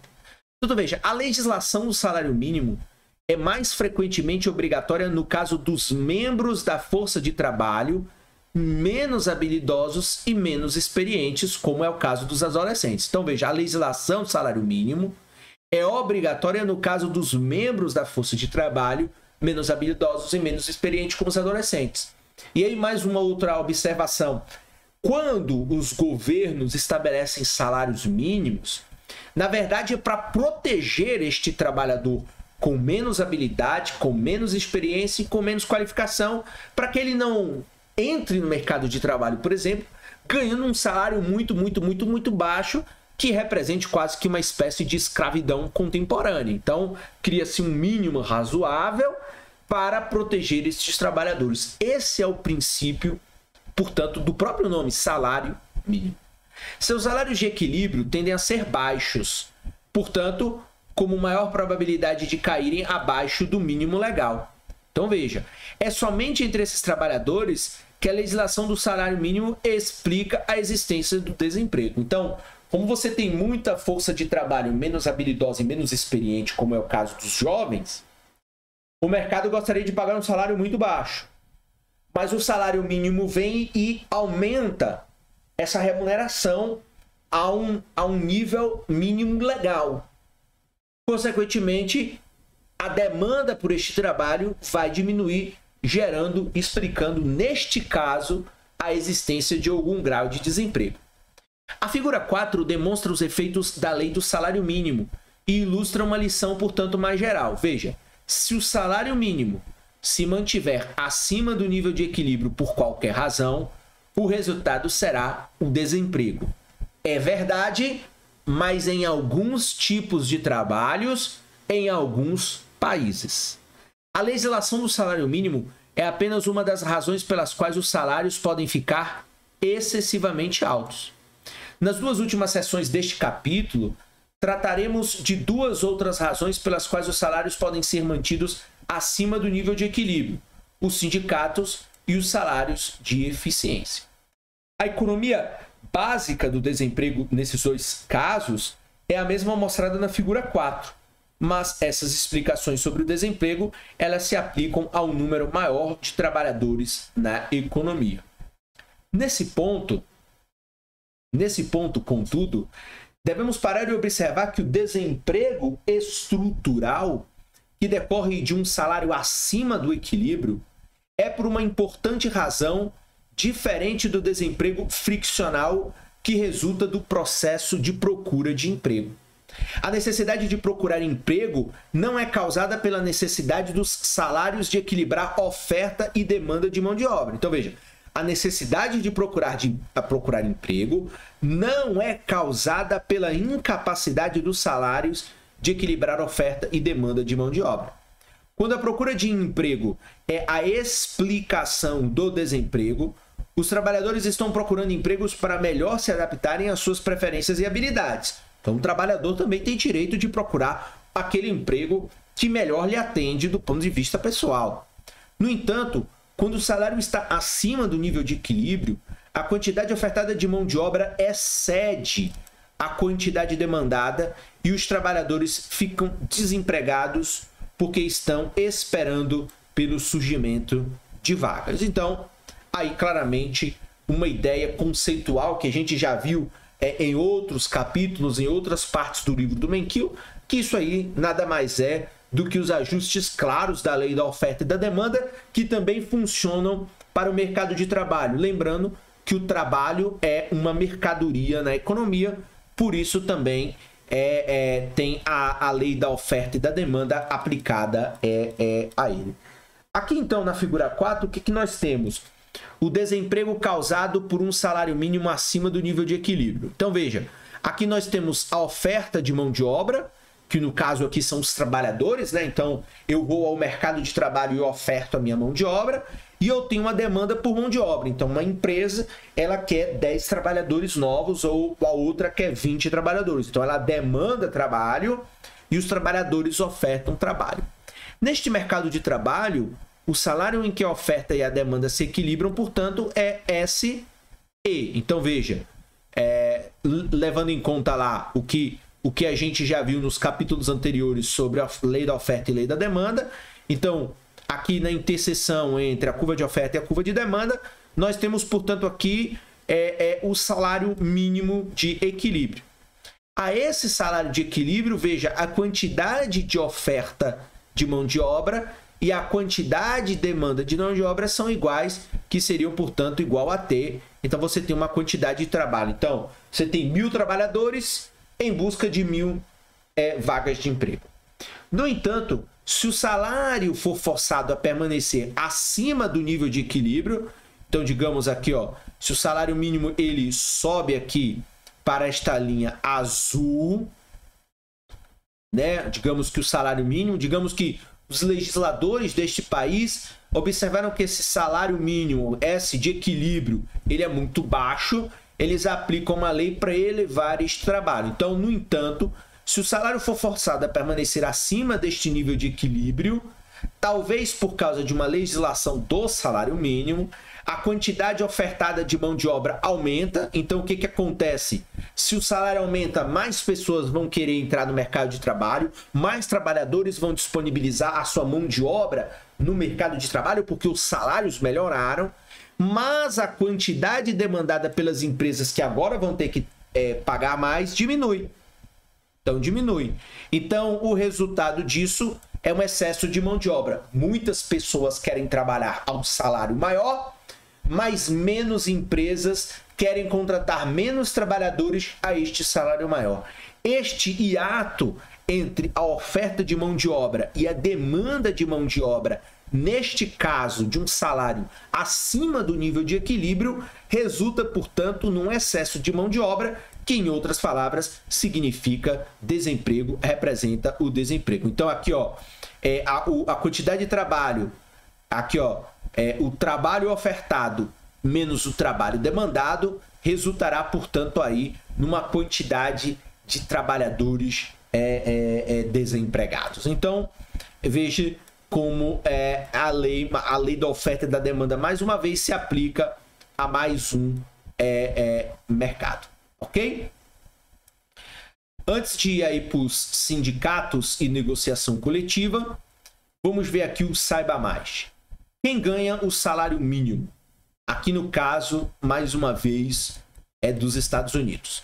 Apenas fazendo um parêntese antes de a gente ver se Saiba Mais, é, no Brasil, é, o salário mínimo ele é aplicável a todos os trabalhadores. Então é o mínimo é o mínimo que uma empresa pode pagar ao querer contratar um trabalhador formal no Brasil. Então isso se aplica também a muitos países. No caso do Brasil, a remuneração ela tem um mínimo mensal de 44 horas ou 40 horas de trabalho semanal, de trabalho semanal, que permite, portanto, aquele funcionário ganhar esse mil e poucos reais. Em alguns países, como é o caso dos Estados Unidos, o salário mínimo ele é determinado por hora de trabalho. Então não existe um montante mensal para uma carga horária é, é, é, é estabelecida em lei. No caso dos Estados Unidos, é um salário mínimo é por, por hora de trabalho. Em 2010, o Departamento de Trabalho dos Estados Unidos publicou um estudo sobre trabalhadores que relataram ganhos de salário mínimo, que ganhos de salário mínimo ou abaixo dele, o qual em julho de 2009 foi aumentado de 6 dólares e 65 centavos para 7 dólares e 25 centavos por hora. É possível haver salários abaixo do mínimo, pois alguns trabalhadores não se encaixam nos estatutos, porque o cumprimento da lei não é observado e porque alguns trabalhadores informaram um arredondamento para baixo ao relatarem os salários nas pesquisas. Segue um resumo, portanto, desses resultados. Entre os trabalhadores que recebem por hora, aproximadamente 4% dos homens e 6% das mulheres afirmaram receber o salário mínimo estabelecido pelo mínimo federal ou abaixo dele. Os trabalhadores que recebem salário mínimo tendem a ser mais jovens. Então, mais uma vez, a questão ligada à experiência, à qualificação. Quase a metade daqueles que recebem por hora e ganham salário mínimo ou menos tinha de menos de 25 anos, dos quais um quarto tinha entre 16 e 19. Entre os adolescentes empregados, 19% ganhavam o salário mínimo ou menos quando comparados com 3% dos trabalhadores com 25 anos ou mais. Os trabalhadores que recebem o mínimo tendem a ter nível de instrução mais baixo, aquilo que nós já pontuamos é, nas sessões anteriores. Entre os que recebem por hora, entre os que recebem por hora com 16 anos ou mais, cerca de 10% dos que não tinham diploma de ensino médio ganhavam um salário mínimo ou menos, quando comparados com cerca de 4% dos que possuíam o mesmo grau de escolaridade, mas não estavam na faculdade, e cerca de 3% dos que tinham ensino superior. Portanto, mais uma vez, o salário mínimo ele protege aquele que é menos qualificado, o, o trabalhador mais frágil, porque o trabalhador qualificado é, ele não aceitará ganhar um salário mínimo ou ganhar um salário ruim, a não ser que esteja realmente em completo desespero. Isso mostra, portanto, a importância da qualificação da mão de obra em qualquer economia. É mais provável que aqueles que recebem salário mínimo trabalhem meio período. Entre esses trabalhadores que geralmente trabalham menos de 35 horas por semana, 11% recebiam um salário mínimo ou menos, quando comparados com os 2% dos trabalhadores de tempo integral. A maior proporção de trabalhadores que recebem um salário mínimo ou menos por hora está nos setores de entretenimento e hospitalidade. Cerca de metade de todos os trabalhadores que recebiam um salário mínimo ou menos estavam empregados nesses setores, principalmente em estabelecimentos que oferecem serviços de alimentação e bebida. Para muitos, as gorjetas complementam o salário. A proporção de trabalhadores que recebem o salário mínimo federal por hora ou menos vem diminuindo desde 1979, quando esses dados começaram a ser coletados é, regularmente, ok? Pois bem, agora o próximo tópico: sindicatos e negociação coletiva. Um tema bem polêmico quando a gente fala, por exemplo, de mercado de trabalho e quando, e, e, e quando a gente fala das situações de desemprego e como o desemprego é, é, é, é, é tá aí envolvido com a participação e as lutas dos sindicatos e das negociações coletivas. Um sindicato é uma associação de trabalhadores que negocia salários, benefícios e condições de trabalho com os empregadores. Embora hoje apenas 12% dos trabalhadores norte-americanos sejam sindicalizados, os sindicatos já tiveram no passado grande influência no mercado de trabalho nos Estados Unidos. E também isso se aplica ao caso é, brasileiro. Sindicatos já tiveram seu momento histórico e a sua importância, principalmente quando as sociedades é, apresentavam, é, digamos, massas de trabalhadores industriais muito maiores do que são atualmente, o que tinha, portanto, uma grande influência em como funcionava é, é, as negociações entre trabalhadores e empregadores.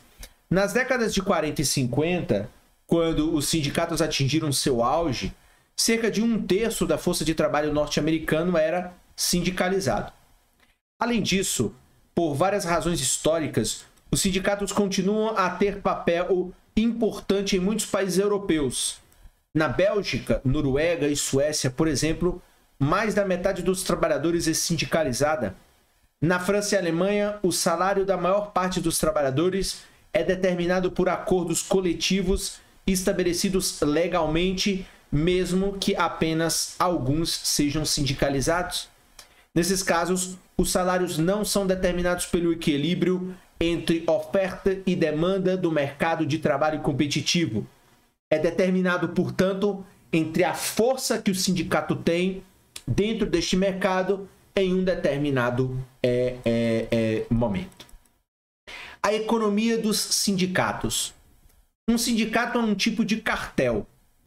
Como qualquer cartel, um sindicato é um grupo de vendedores que agem em conjunto na esperança de exercer seu poder de mercado. A maioria dos trabalhadores da economia norte-americana discute individualmente salários, benefícios e condições de trabalho com seus empregadores, enquanto os trabalhadores sindicalizados o fazem, portanto, em grupo. O processo por meio do qual os sindicatos e as empresas chegam a um acordo em relação às condições de emprego é chamada e, portanto, de negociação coletiva. Então, os sindicatos reúnem os trabalhadores que vão fazer negociações, acordos, convenções, enfim, é, vão, vão, vão mediar as relações entre trabalho e capital, entre trabalho e empregado. E tudo isso acontece por meio de negociações é, coletivas.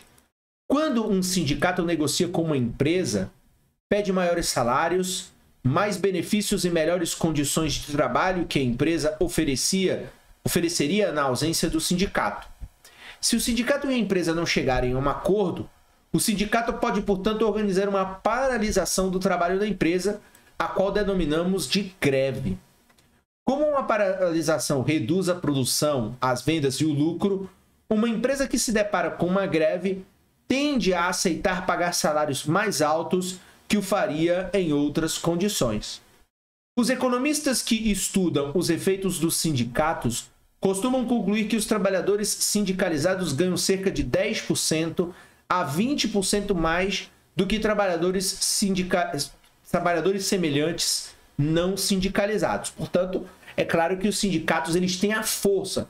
Porque, veja, fazendo uma, aqui também um, um parêntese é, é, no, é, no texto do Menkil. Essa história do trabalhador é, fazer negociação individual com o patrão, ela só funciona para trabalhadores qualificados e trabalhadores capitalizados. Um trabalhador pobre, iniciante, sem estudo, ele não tem qualquer força para negociar, digamos, uma boa remuneração, a não ser que seja via um determinado sindicato. Então, lá na construção civil, nós precisamos é, um, um, um, pedreiro não vai conseguir uma boa negociação, mas se ele é sindicalizado e o sindicato fecha acordos com a empresa que tem lá 3 mil, 4 mil, 5 mil trabalhadores, existe uma força maior, como prova aí que os sindicalizados claramente eles ganham mais do que os não sindicalizados.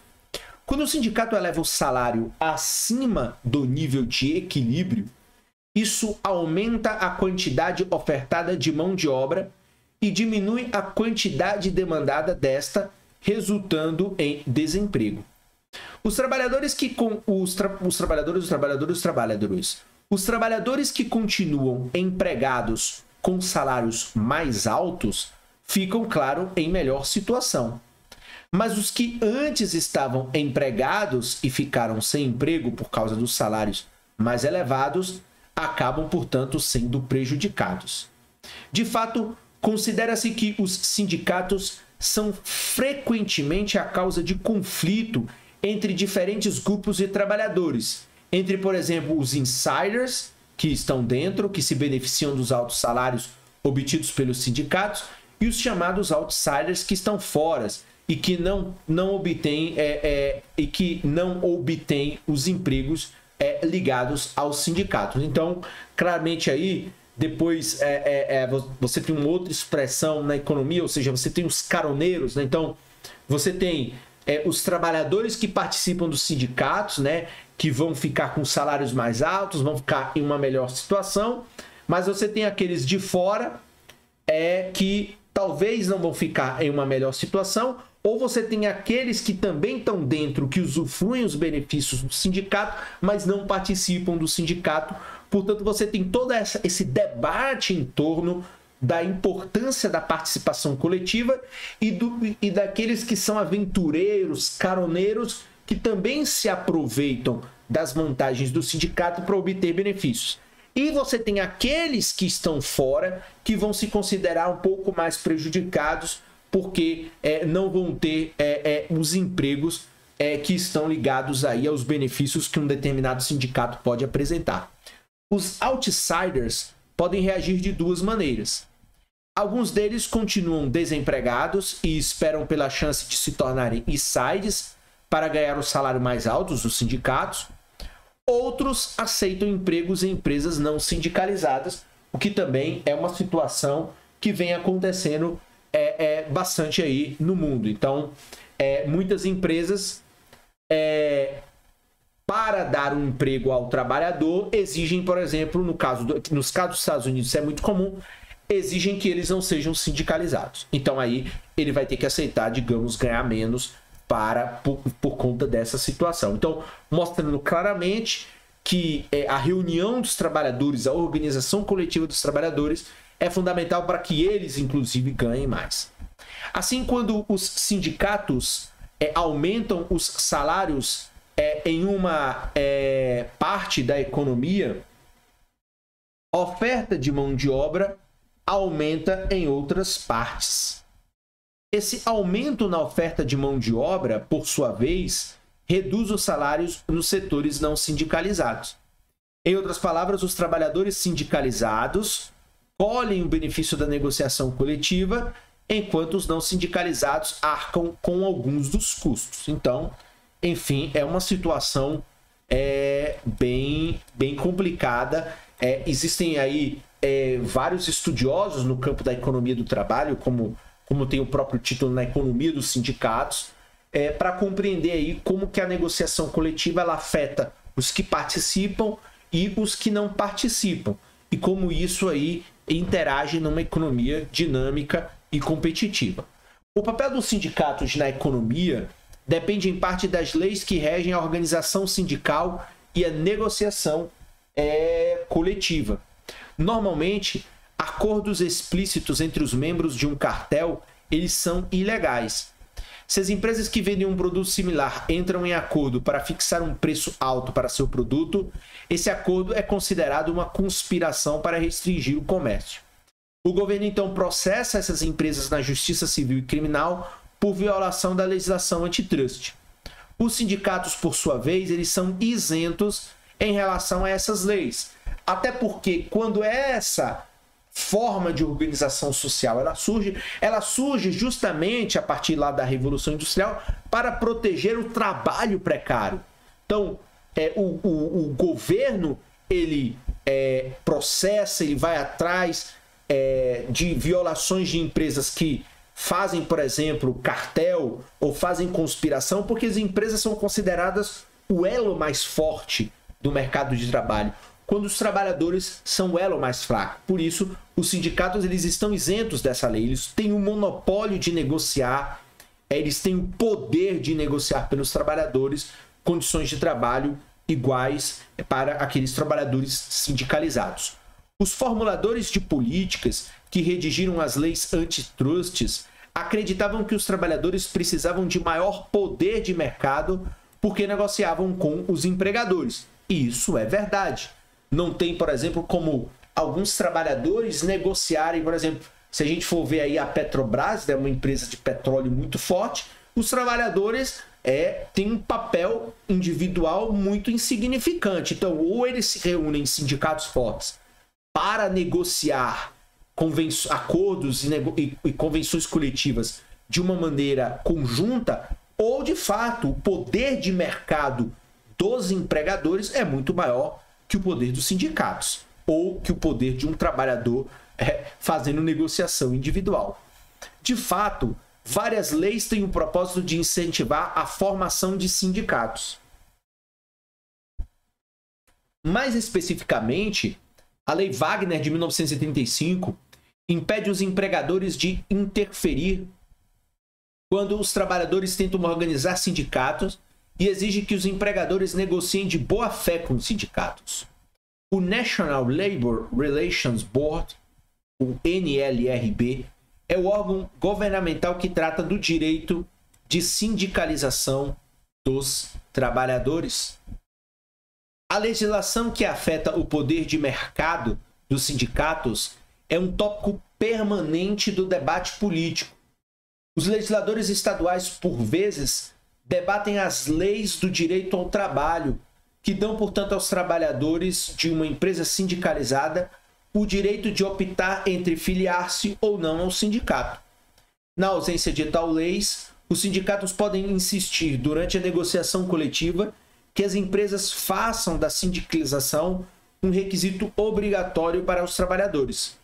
Os legisladores de Washington já debateram um projeto de lei que impediria as empresas de contratar substitutos permanentes para trabalhadores em greve. Então veja, leis que favorecem o trabalho, leis que tentam regular a questão do caroneiro, então há aqueles que pertencem a sindicatos ou não. Hoje tem ficado uma situação muito, uma espécie de situação híbrida em que você tem é, determinadas é, é, carreiras, determinadas profissões em que uma parcela pode ser sindicalizada e outra não, mas quando o sindicato, digamos, ganha algum aumento salarial, é, ganha alguma reivindicação, todos ganham, aqueles que são sindicalizados ou não. Então, essa é uma outra discussão. E a outra questão fundamental é essa questão, ou seja, os trabalhadores em greves eles não podem ser substituídos. Então, essa lei, portanto, aumentaria o custo das greves para as empresas e, portanto, aumentaria o poder de mercado dos sindicatos, neste caso aqui, é, é, é de não aqui de é, impedir as empresas de contratarem substitutos permanentes para trabalhadores em greves. Essa decisão, portanto, é uma decisão política e outras similares ajudarão a determinar o futuro do movimento sindical. E aí vale lembrar que na economia esse é um tema polêmico, porque é um tema que envolve organização política, que envolve organização do trabalho, que acirra, portanto, os conflitos entre capital e trabalho, que é uma realidade, né? Enfim, tudo isso aí vem derivado, sobretudo, dos famosos estudos de Karl Marx, revelando, portanto, o papel que os sindicatos é, eles têm na condução é, é, é, é, é na condução do trabalho. Os sindicatos são benéficos ou prejudiciais à economia? Uma pergunta bem difícil de responder. Mas vamos ver aqui o que, que o Menkyu coloca é, de análise. Os economistas eles divergem sobre o fato, portanto não há unanimidade, sobre o fato de os sindicatos serem benéficos ou prejudiciais à economia. Vamos considerar os dois lados do debate. Então vamos ver aí as duas situações. Os críticos argumentam que os sindicatos são apenas um tipo de cartel. Quando os sindicatos elevam os salários acima do nível que prevaleceria em mercados competitivos, eles reduzem a quantidade demandada de mão de obra, ou seja, reduzem o emprego, fazem com que alguns trabalhadores fiquem desempregados e reduzem os salários no restante da economia. Então, essa é a afirmação dos críticos. A alocação de mão de obra resultante, argumentam os críticos, seria ineficiente e injusta. Ineficiente porque os elevados salários dos trabalhadores sindicalizados reduzem o emprego nas empresas sindicalizadas abaixo do nível eficiente e competitivo. E injusta porque alguns trabalhadores seriam beneficiados à custa de outros trabalhadores. Então, esse é o argumento daqueles que criticam é, o papel é, o papel dos sindicatos. Os defensores argumentam que os sindicatos são um antídoto necessário para o poder de mercado das empresas que contratam trabalhadores. Eu sou um economista defensor é, é dos sindicatos. Por quê? Porque claramente as empresas são muito mais fortes que os trabalhadores. As empresas são muito mais capitalizadas que os trabalhadores. As empresas têm muito mais alternativas para operar na economia do que os trabalhadores um trabalhador de uma fábrica de automóvel, a única coisa que ele tem para vender é a sua força de trabalho. O caso extremo desse poder de mercado é a cidade empresa, em que uma única empresa contrata a maioria das pessoas em uma região geográfica. Numa cidade empresa, se os trabalhadores não aceitam os salários e as condições de trabalho oferecidas pela empresa, eles têm pouca escolha ou mudam de cidade ou param de trabalhar. Então veja que a empresa exerce um monopólio geográfico da demanda por trabalho e isso pode fazer com que a empresa de fato crie condições de salários e condições de trabalho é, é menos satisfatórias. E só que também é um parêntese, isso tem acontecido em alguns casos é, já relatados e documentados é com a Amazon e com aquelas empresas que Tesla, ou seja, empresas que se instalam em pequenas cidades nos Estados Unidos, em cidades medianas, e consequentemente são a única fonte de trabalho para aquela população. E logo elas podem criar condições de trabalho que possam é, é, que podem ser consideradas menos favoráveis. Portanto, na ausência de um sindicato, neste caso, a empresa poderia usar seu poder de mercado para pagar, portanto, salários menores e oferecer condições de trabalho inferiores às que prevaleceriam se tivesse de competir com outras empresas pelos mesmos trabalhadores. Nesse caso, um sindicato pode contrabalançar o poder de mercado da empresa e pode proteger os trabalhadores, impedindo que eles fiquem à mercê dos proprietários de empresa. Então, isso é uma realidade muito mais do que os críticos dos sindicatos. Então, a gente enxerga na economia real muito mais empresas fortes que subjugam os trabalhadores, principalmente em países mais pobres, e que subjugam em todo mundo, principalmente os trabalhadores com menor escolaridade, isso mostra que os sindicatos eles têm um papel é, socioeconômico importantíssimo, mesmo em pleno século XXI. Os defensores dos sindicatos também argumentam que os sindicatos são importantes para ajudar as empresas a responder com eficiência às preocupações dos trabalhadores. Sempre que um trabalhador ingressa em um emprego, ele e a empresa precisam estar de acordo sobre muitos atributos da função, além do salário, como jornada de trabalho, horas extras, férias, licença médica, planos de saúde, esquemas de promoção, segurança no emprego e assim por diante. Então, é importante é, é deixar claro principalmente no setor industrial, que o sindicato ele negocia um pacote, né? A convenção coletiva. Então, jornada de trabalho, o que é hora extra, férias, plano de saúde, licença em caso de acidente de trabalho, quais são os esquemas de valorização da mão de obra, requalificação em caso de vontade do trabalhador sai. E vem você tem um pacote, não é só salário, é muito mais do que salário. Ao representarem as opiniões dos trabalhadores sobre essas questões, os sindicatos permitem que as empresas ofereçam uma combinação de atributos mais adequada. Mesmo que os sindicatos tenham os efeitos adversos de empurrar os salários para cima do nível de equilíbrio, de causar desemprego, segundo os críticos, eles têm os sindicatos a vantagem de ajudar as empresas a manter uma força de trabalho satisfeita e produtiva. Então, isso aqui é fundamental. Então, você vai ter a vantagem de ajudar as empresas a manter uma força de trabalho satisfeita e produtiva.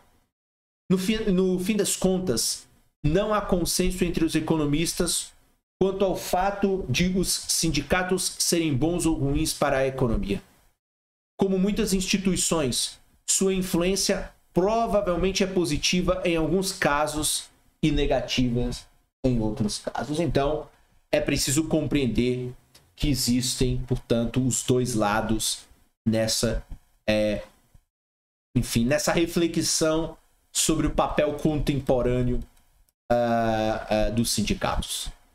Agora, a teoria dos salários de eficiência. Vamos ver o que significa isso aí na teoria aí apresentada pelo Menkyo. Uma quarta razão pela qual as economias sempre apresentam algum desemprego, além da busca de emprego, da legislação do salário mínimo dos sindicatos, é sugerida pela chamada teoria dos salários de eficiência. De acordo com essa teoria, as empresas operam de forma mais eficiente se os salários estão acima do nível de equilíbrio. Então veja, de acordo com essa teoria, as empresas operam de forma mais eficiente se os salários estão acima do nível de equilíbrio. Assim sendo, pode ser lucrativo para elas manter os salários mais elevados, mesmo que haja um excesso de oferta de mão de obra. Então vamos ver por quê. De certo modo, o desemprego decorre dos salários de eficiência. De, de, certo, de certo modo, o desemprego que decorre dos salários de eficiência é semelhante ao que surge por causa da legislação do salário mínimo e dos sindicatos. Nos três casos, o desemprego resulta de salários acima do nível que equilibra a quantidade ofertada e demandada de mão de obra, aquele gráfico, é, aquele plano cartesiano que a gente viu anteriormente, mostrando lá a oferta e a demanda da mão de obra e, portanto, um determinado salário de equilíbrio. Mas é uma importante, mas é uma diferença importante. A legislação do salário mínimo e os sindicatos, eles impedem que as empresas reduzam os salários quando há um excesso de mão de obra. Já a teoria dos salários de eficiência afirma que tal restrição sobre as empresas é desnecessária em muitos casos, porque elas podem se beneficiar da manutenção dos salários acima do nível de equilíbrio. Por que as empresas então desejariam manter salários elevados? Essa decisão pode parecer estranha à primeira vista, pois os salários são uma grande parte dos custos das empresas. Normalmente esperaríamos que as empresas maximizadoras do lucro desejassem manter os custos e, portanto, os salários tão baixo quanto possível. A nova percepção, então veja, da teoria dos salários de eficiência é de que o pagamento de salários elevados pode ser lucrativo, então atenção, porque eles podem aumentar a eficiência dos trabalhadores de uma empresa. Então, salários maiores podem levar esses trabalhadores a serem mais produtivos, a produzirem mais, a trabalharem com mais eficiência do que se eles ganhassem menos e fossem menos motivados. Há diversos tipos de teoria dos salários de eficiência. Cada tipo sugere uma explicação diferente de por que as empresas podem desejar pagar salários mais, mais elevados. Vamos considerar quatro desses tipos. Então vamos lá. Então veja, tem questões que vão. No, no, no caso dessa teoria dos salários de eficiência, estamos falando, portanto, que essa perspectiva não é só uma perspectiva econômica. Ela é uma perspectiva que vai além da economia vai para o campo da psicologia, da motivação, da saúde, do estímulo ou do espírito é, é, é, é, recompensador de ganhar cada vez mais. Enfim, veja que não é só uma questão meramente econômica. Então vamos aqui, ó, saúde do trabalhador.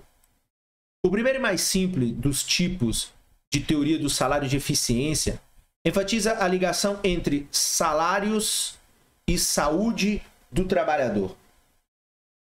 Trabalhadores mais bem pagos comem alimentos mais nutritivos e trabalhadores mais bem alimentados são saudáveis e mais produtivos. Uma empresa pode considerar mais lucrativo pagar salários elevados e ter trabalhadores saudáveis e produtivos que pagar salários mais baixos e ter trabalhadores menos saudáveis e menos produtivos. Esse tipo de teoria do salário de eficiência pode ser relevante para explicar o desemprego em países menos desenvolvidos, onde a alimentação inadequada é um problema mais comum. Nesses países, as empresas podem temer que um corte nos salários possa de fato atuar de maneira adversa sobre a saúde e a produtividade de seus trabalhadores. Em outras palavras, a preocupação com a alimentação pode explicar por que as empresas mantêm lá os salários acima do equilíbrio, acima do, do salário de equilíbrio, apesar do excesso de mão de obra. A preocupação com a saúde é menos relevante para empresas de países ricos como os Estados Unidos, onde os salários de equilíbrio para a maioria dos trabalhadores estão bem acima do nível necessário para proporcionar uma alimentação adequada. O outro aspecto que justifica a manutenção de salários acima da eficiência, rotatividade do trabalhador. Um segundo tipo de, de teoria dos salários de eficiência enfatiza a ligação entre os salários e a rotatividade do trabalhador. Os trabalhadores deixam seus empregos por diversas razões, para empregar-se em outras empresas, mudar para outras partes do país, deixar a força de trabalho e assim por diante. A frequência com que eles se demitem depende da totalidade do conjunto de incentivos, incluindo os benefícios da saída e da permanência. Quanto mais uma empresa paga aos seus trabalhadores, menor, portanto, é a frequência com que desejarão sair do emprego. Então, rotatividade é aquela situação em que toda hora um monte de trabalhador está saindo da empresa e a empresa está tendo que recontratar novos trabalhadores, retreiná-los, readequá-los à cultura da organização.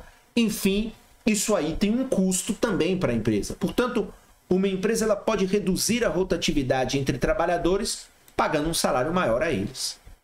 Por que as empresas se preocupam com a rotatividade? A razão é que existe um alto custo para as empresas, olá, contratar e treinar novos trabalhadores. Além disso, mesmo após serem treinados, os trabalhadores recém-contratados não são tão produtivos quanto aqueles que estão há mais tempo na empresa e, portanto, são mais experientes. As empresas com alta rotatividade, portanto, tenderão a ter custos de produção mais elevados, ou seja, há situações em que a rotatividade ela pode custar muito mais do que a empresa ter uma política de salário acima do nível de equilíbrio. Então, eu pago um pouco mais porque sai mais barato do que eu pagar menos e eu ter muitos trabalhadores entrando e saindo é, é da empresa. As empresas podem considerar lucrativo pagar salários acima do nível de equilíbrio para, portanto, reduzir a rotatividade dos trabalhadores. Qualidade do trabalhador. E aqui é outro ponto importante. O terceiro tipo de teoria dos salários de eficiência enfatiza a ligação entre salários e qualidade do trabalhador. Todas as empresas desejam funcionários talentosos e tentam selecionar os melhores candidatos para preencher as vagas disponíveis. Mas, como não é possível avaliar precisamente a qualidade dos candidatos, o processo de, de contratação claramente apresenta um certo grau de incerteza. Então, veja: quando uma empresa paga altos salários, que, que vai acontecer? Ela vai atrair melhores candidatos aumentando, portanto, a qualidade de sua força de trabalho. Se a empresa corresponde a um excedente de mão de obra reduzindo os salários, os candidatos mais competentes que têm melhores oportunidades que os, que o menos, que os menos competentes podem optar por não se candidatar à vaga. Se a influência do salário sobre a qualidade do trabalhador for muito grande, pode ser lucrativo para a empresa pagar um salário acima do nível de equilíbrio da oferta e da demanda, portanto, fazendo com que o trabalhador, ele, o melhor trabalhador, seja atraído pela empresa. Esforço do trabalhador. O último tipo de teoria dos salários e de eficiência enfatiza a ligação entre os salários e o esforço do trabalhador. Em muitos empregos, o trabalhador é discreto com relação ao esforço aplicado ao trabalho. Assim, as empresas elas monitoram esse esforço e os trabalhadores que negligenciam as, as responsabilidades eles são demitidos. Seria uma espécie aí de meritocracia. Contudo, nem todos são identificados imediatamente, porque esse monitoramento ele é caro e imperfeito. Nesse caso, veja, as empresas buscam continuamente formas de deter essa negligência. Uma solução é oferecer salários acima do nível de equilíbrio. Com salários mais altos, os trabalhadores desejam manter um emprego e, portanto, esforçam-se cada vez mais. Se os salários estiverem no nível de equilíbrio entre oferta e demanda, os trabalhadores não teriam motivos para se esforçar, pois se fossem demitidos, rapidamente eles conseguiriam emprego, encontrar outros empregos com o mesmo salário. Desse modo, as empresas pagam salários acima do nível de equilíbrio, como incentivo para que os trabalhadores não negligenciem as suas responsabilidades e, em última instância, por exemplo, atinjam metas, objetivos de crescimento que a empresa tem. Então, o salário maior é um estímulo para que o trabalhador ele tenha compromisso, ele tenha comprometimento é, com, com a empresa. Agora o Menkyu coloca aqui um estudo de caso. Henry Ford e o salário extremamente generoso de 5 dólares por dia. Henry Ford era um industrial visionário. Como fundador da Ford Motor Company, foi responsável pela introdução das técnicas modernas de produção. Em vez de produzir carros com pequenas equipes de artesão habilidosos, Ford produzia carros em linhas de montagem, onde trabalhadores sem qualificações eram ensinados a realizar as mesmas tarefas simples repetidas vezes. O resultado desse processo de montagem foi o modelo Ford T, um dos mais famosos entre os primeiros automóveis. Em 1914, Ford introduziu outra inovação: 5 dólares por dia de trabalho. Isso pode não parecer muito hoje em dia, mas na época 5 dólares era quase o dobro do salário vigente. E esse valor estava também muito acima do salário que equilibrava a oferta e a demanda. Quando o novo salário de 5 dólares por dia foi anunciado, longas filas de pessoas procurando emprego se formaram à porta das fábricas da Ford. O número de interessados dispostos a trabalhar por esse salário excedia o número de trabalhadores de que a Ford necessitava. A política de altos salários da Ford teve muitos dos efeitos previstos pela teoria dos salários de eficiência. A rotatividade ela caiu, as faltas diminuíram e a produtividade aumentou. Os trabalhadores eram tão eficientes que os custos de produção da empresa diminuíram, apesar de os salários terem aumentado. Portanto, pagar um salário acima do nível de equilíbrio era lucrativo para a empresa.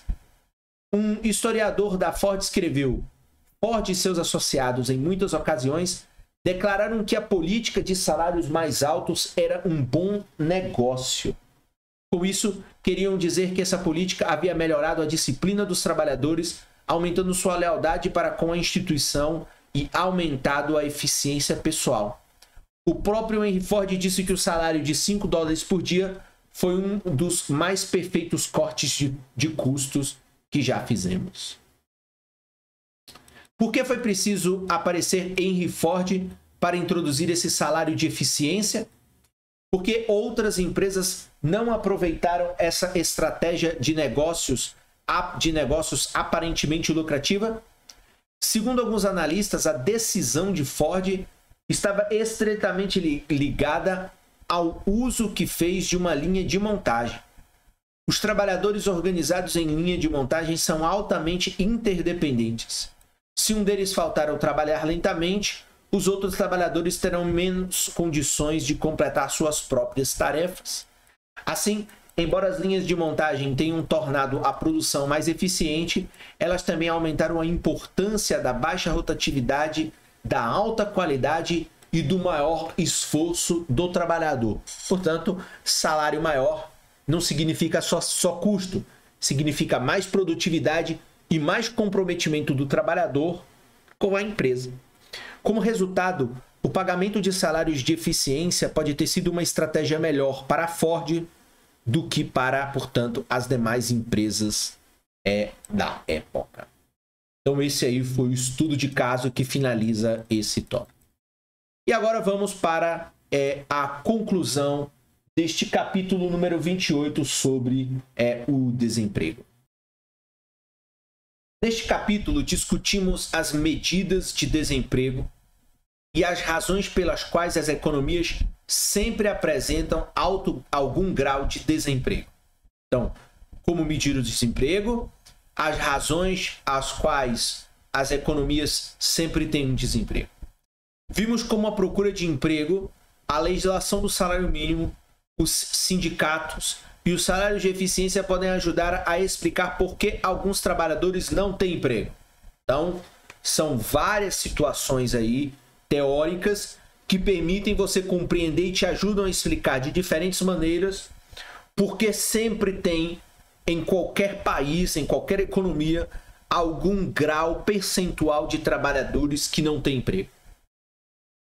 Quais dessas quatro explicações, quais dessas quatro explicações para a taxa natural de desemprego são as mais importantes para a economia dos Estados Unidos e para é, outras economias em todo o mundo? Infelizmente, não há maneira fácil de saber. Os economistas divergem sobre qual dessas explicações do desemprego eles consideram mais importantes. Procura do, do emprego, legislação do salário mínimo, sindicatos e o salário de eficiência. A análise deste capítulo nos dá uma lição importante. Embora a economia sempre apresente algum desemprego, sua taxa natural não é imutável. Muitos fatos e políticas podem alterar o nível de desemprego que a economia costuma apresentar.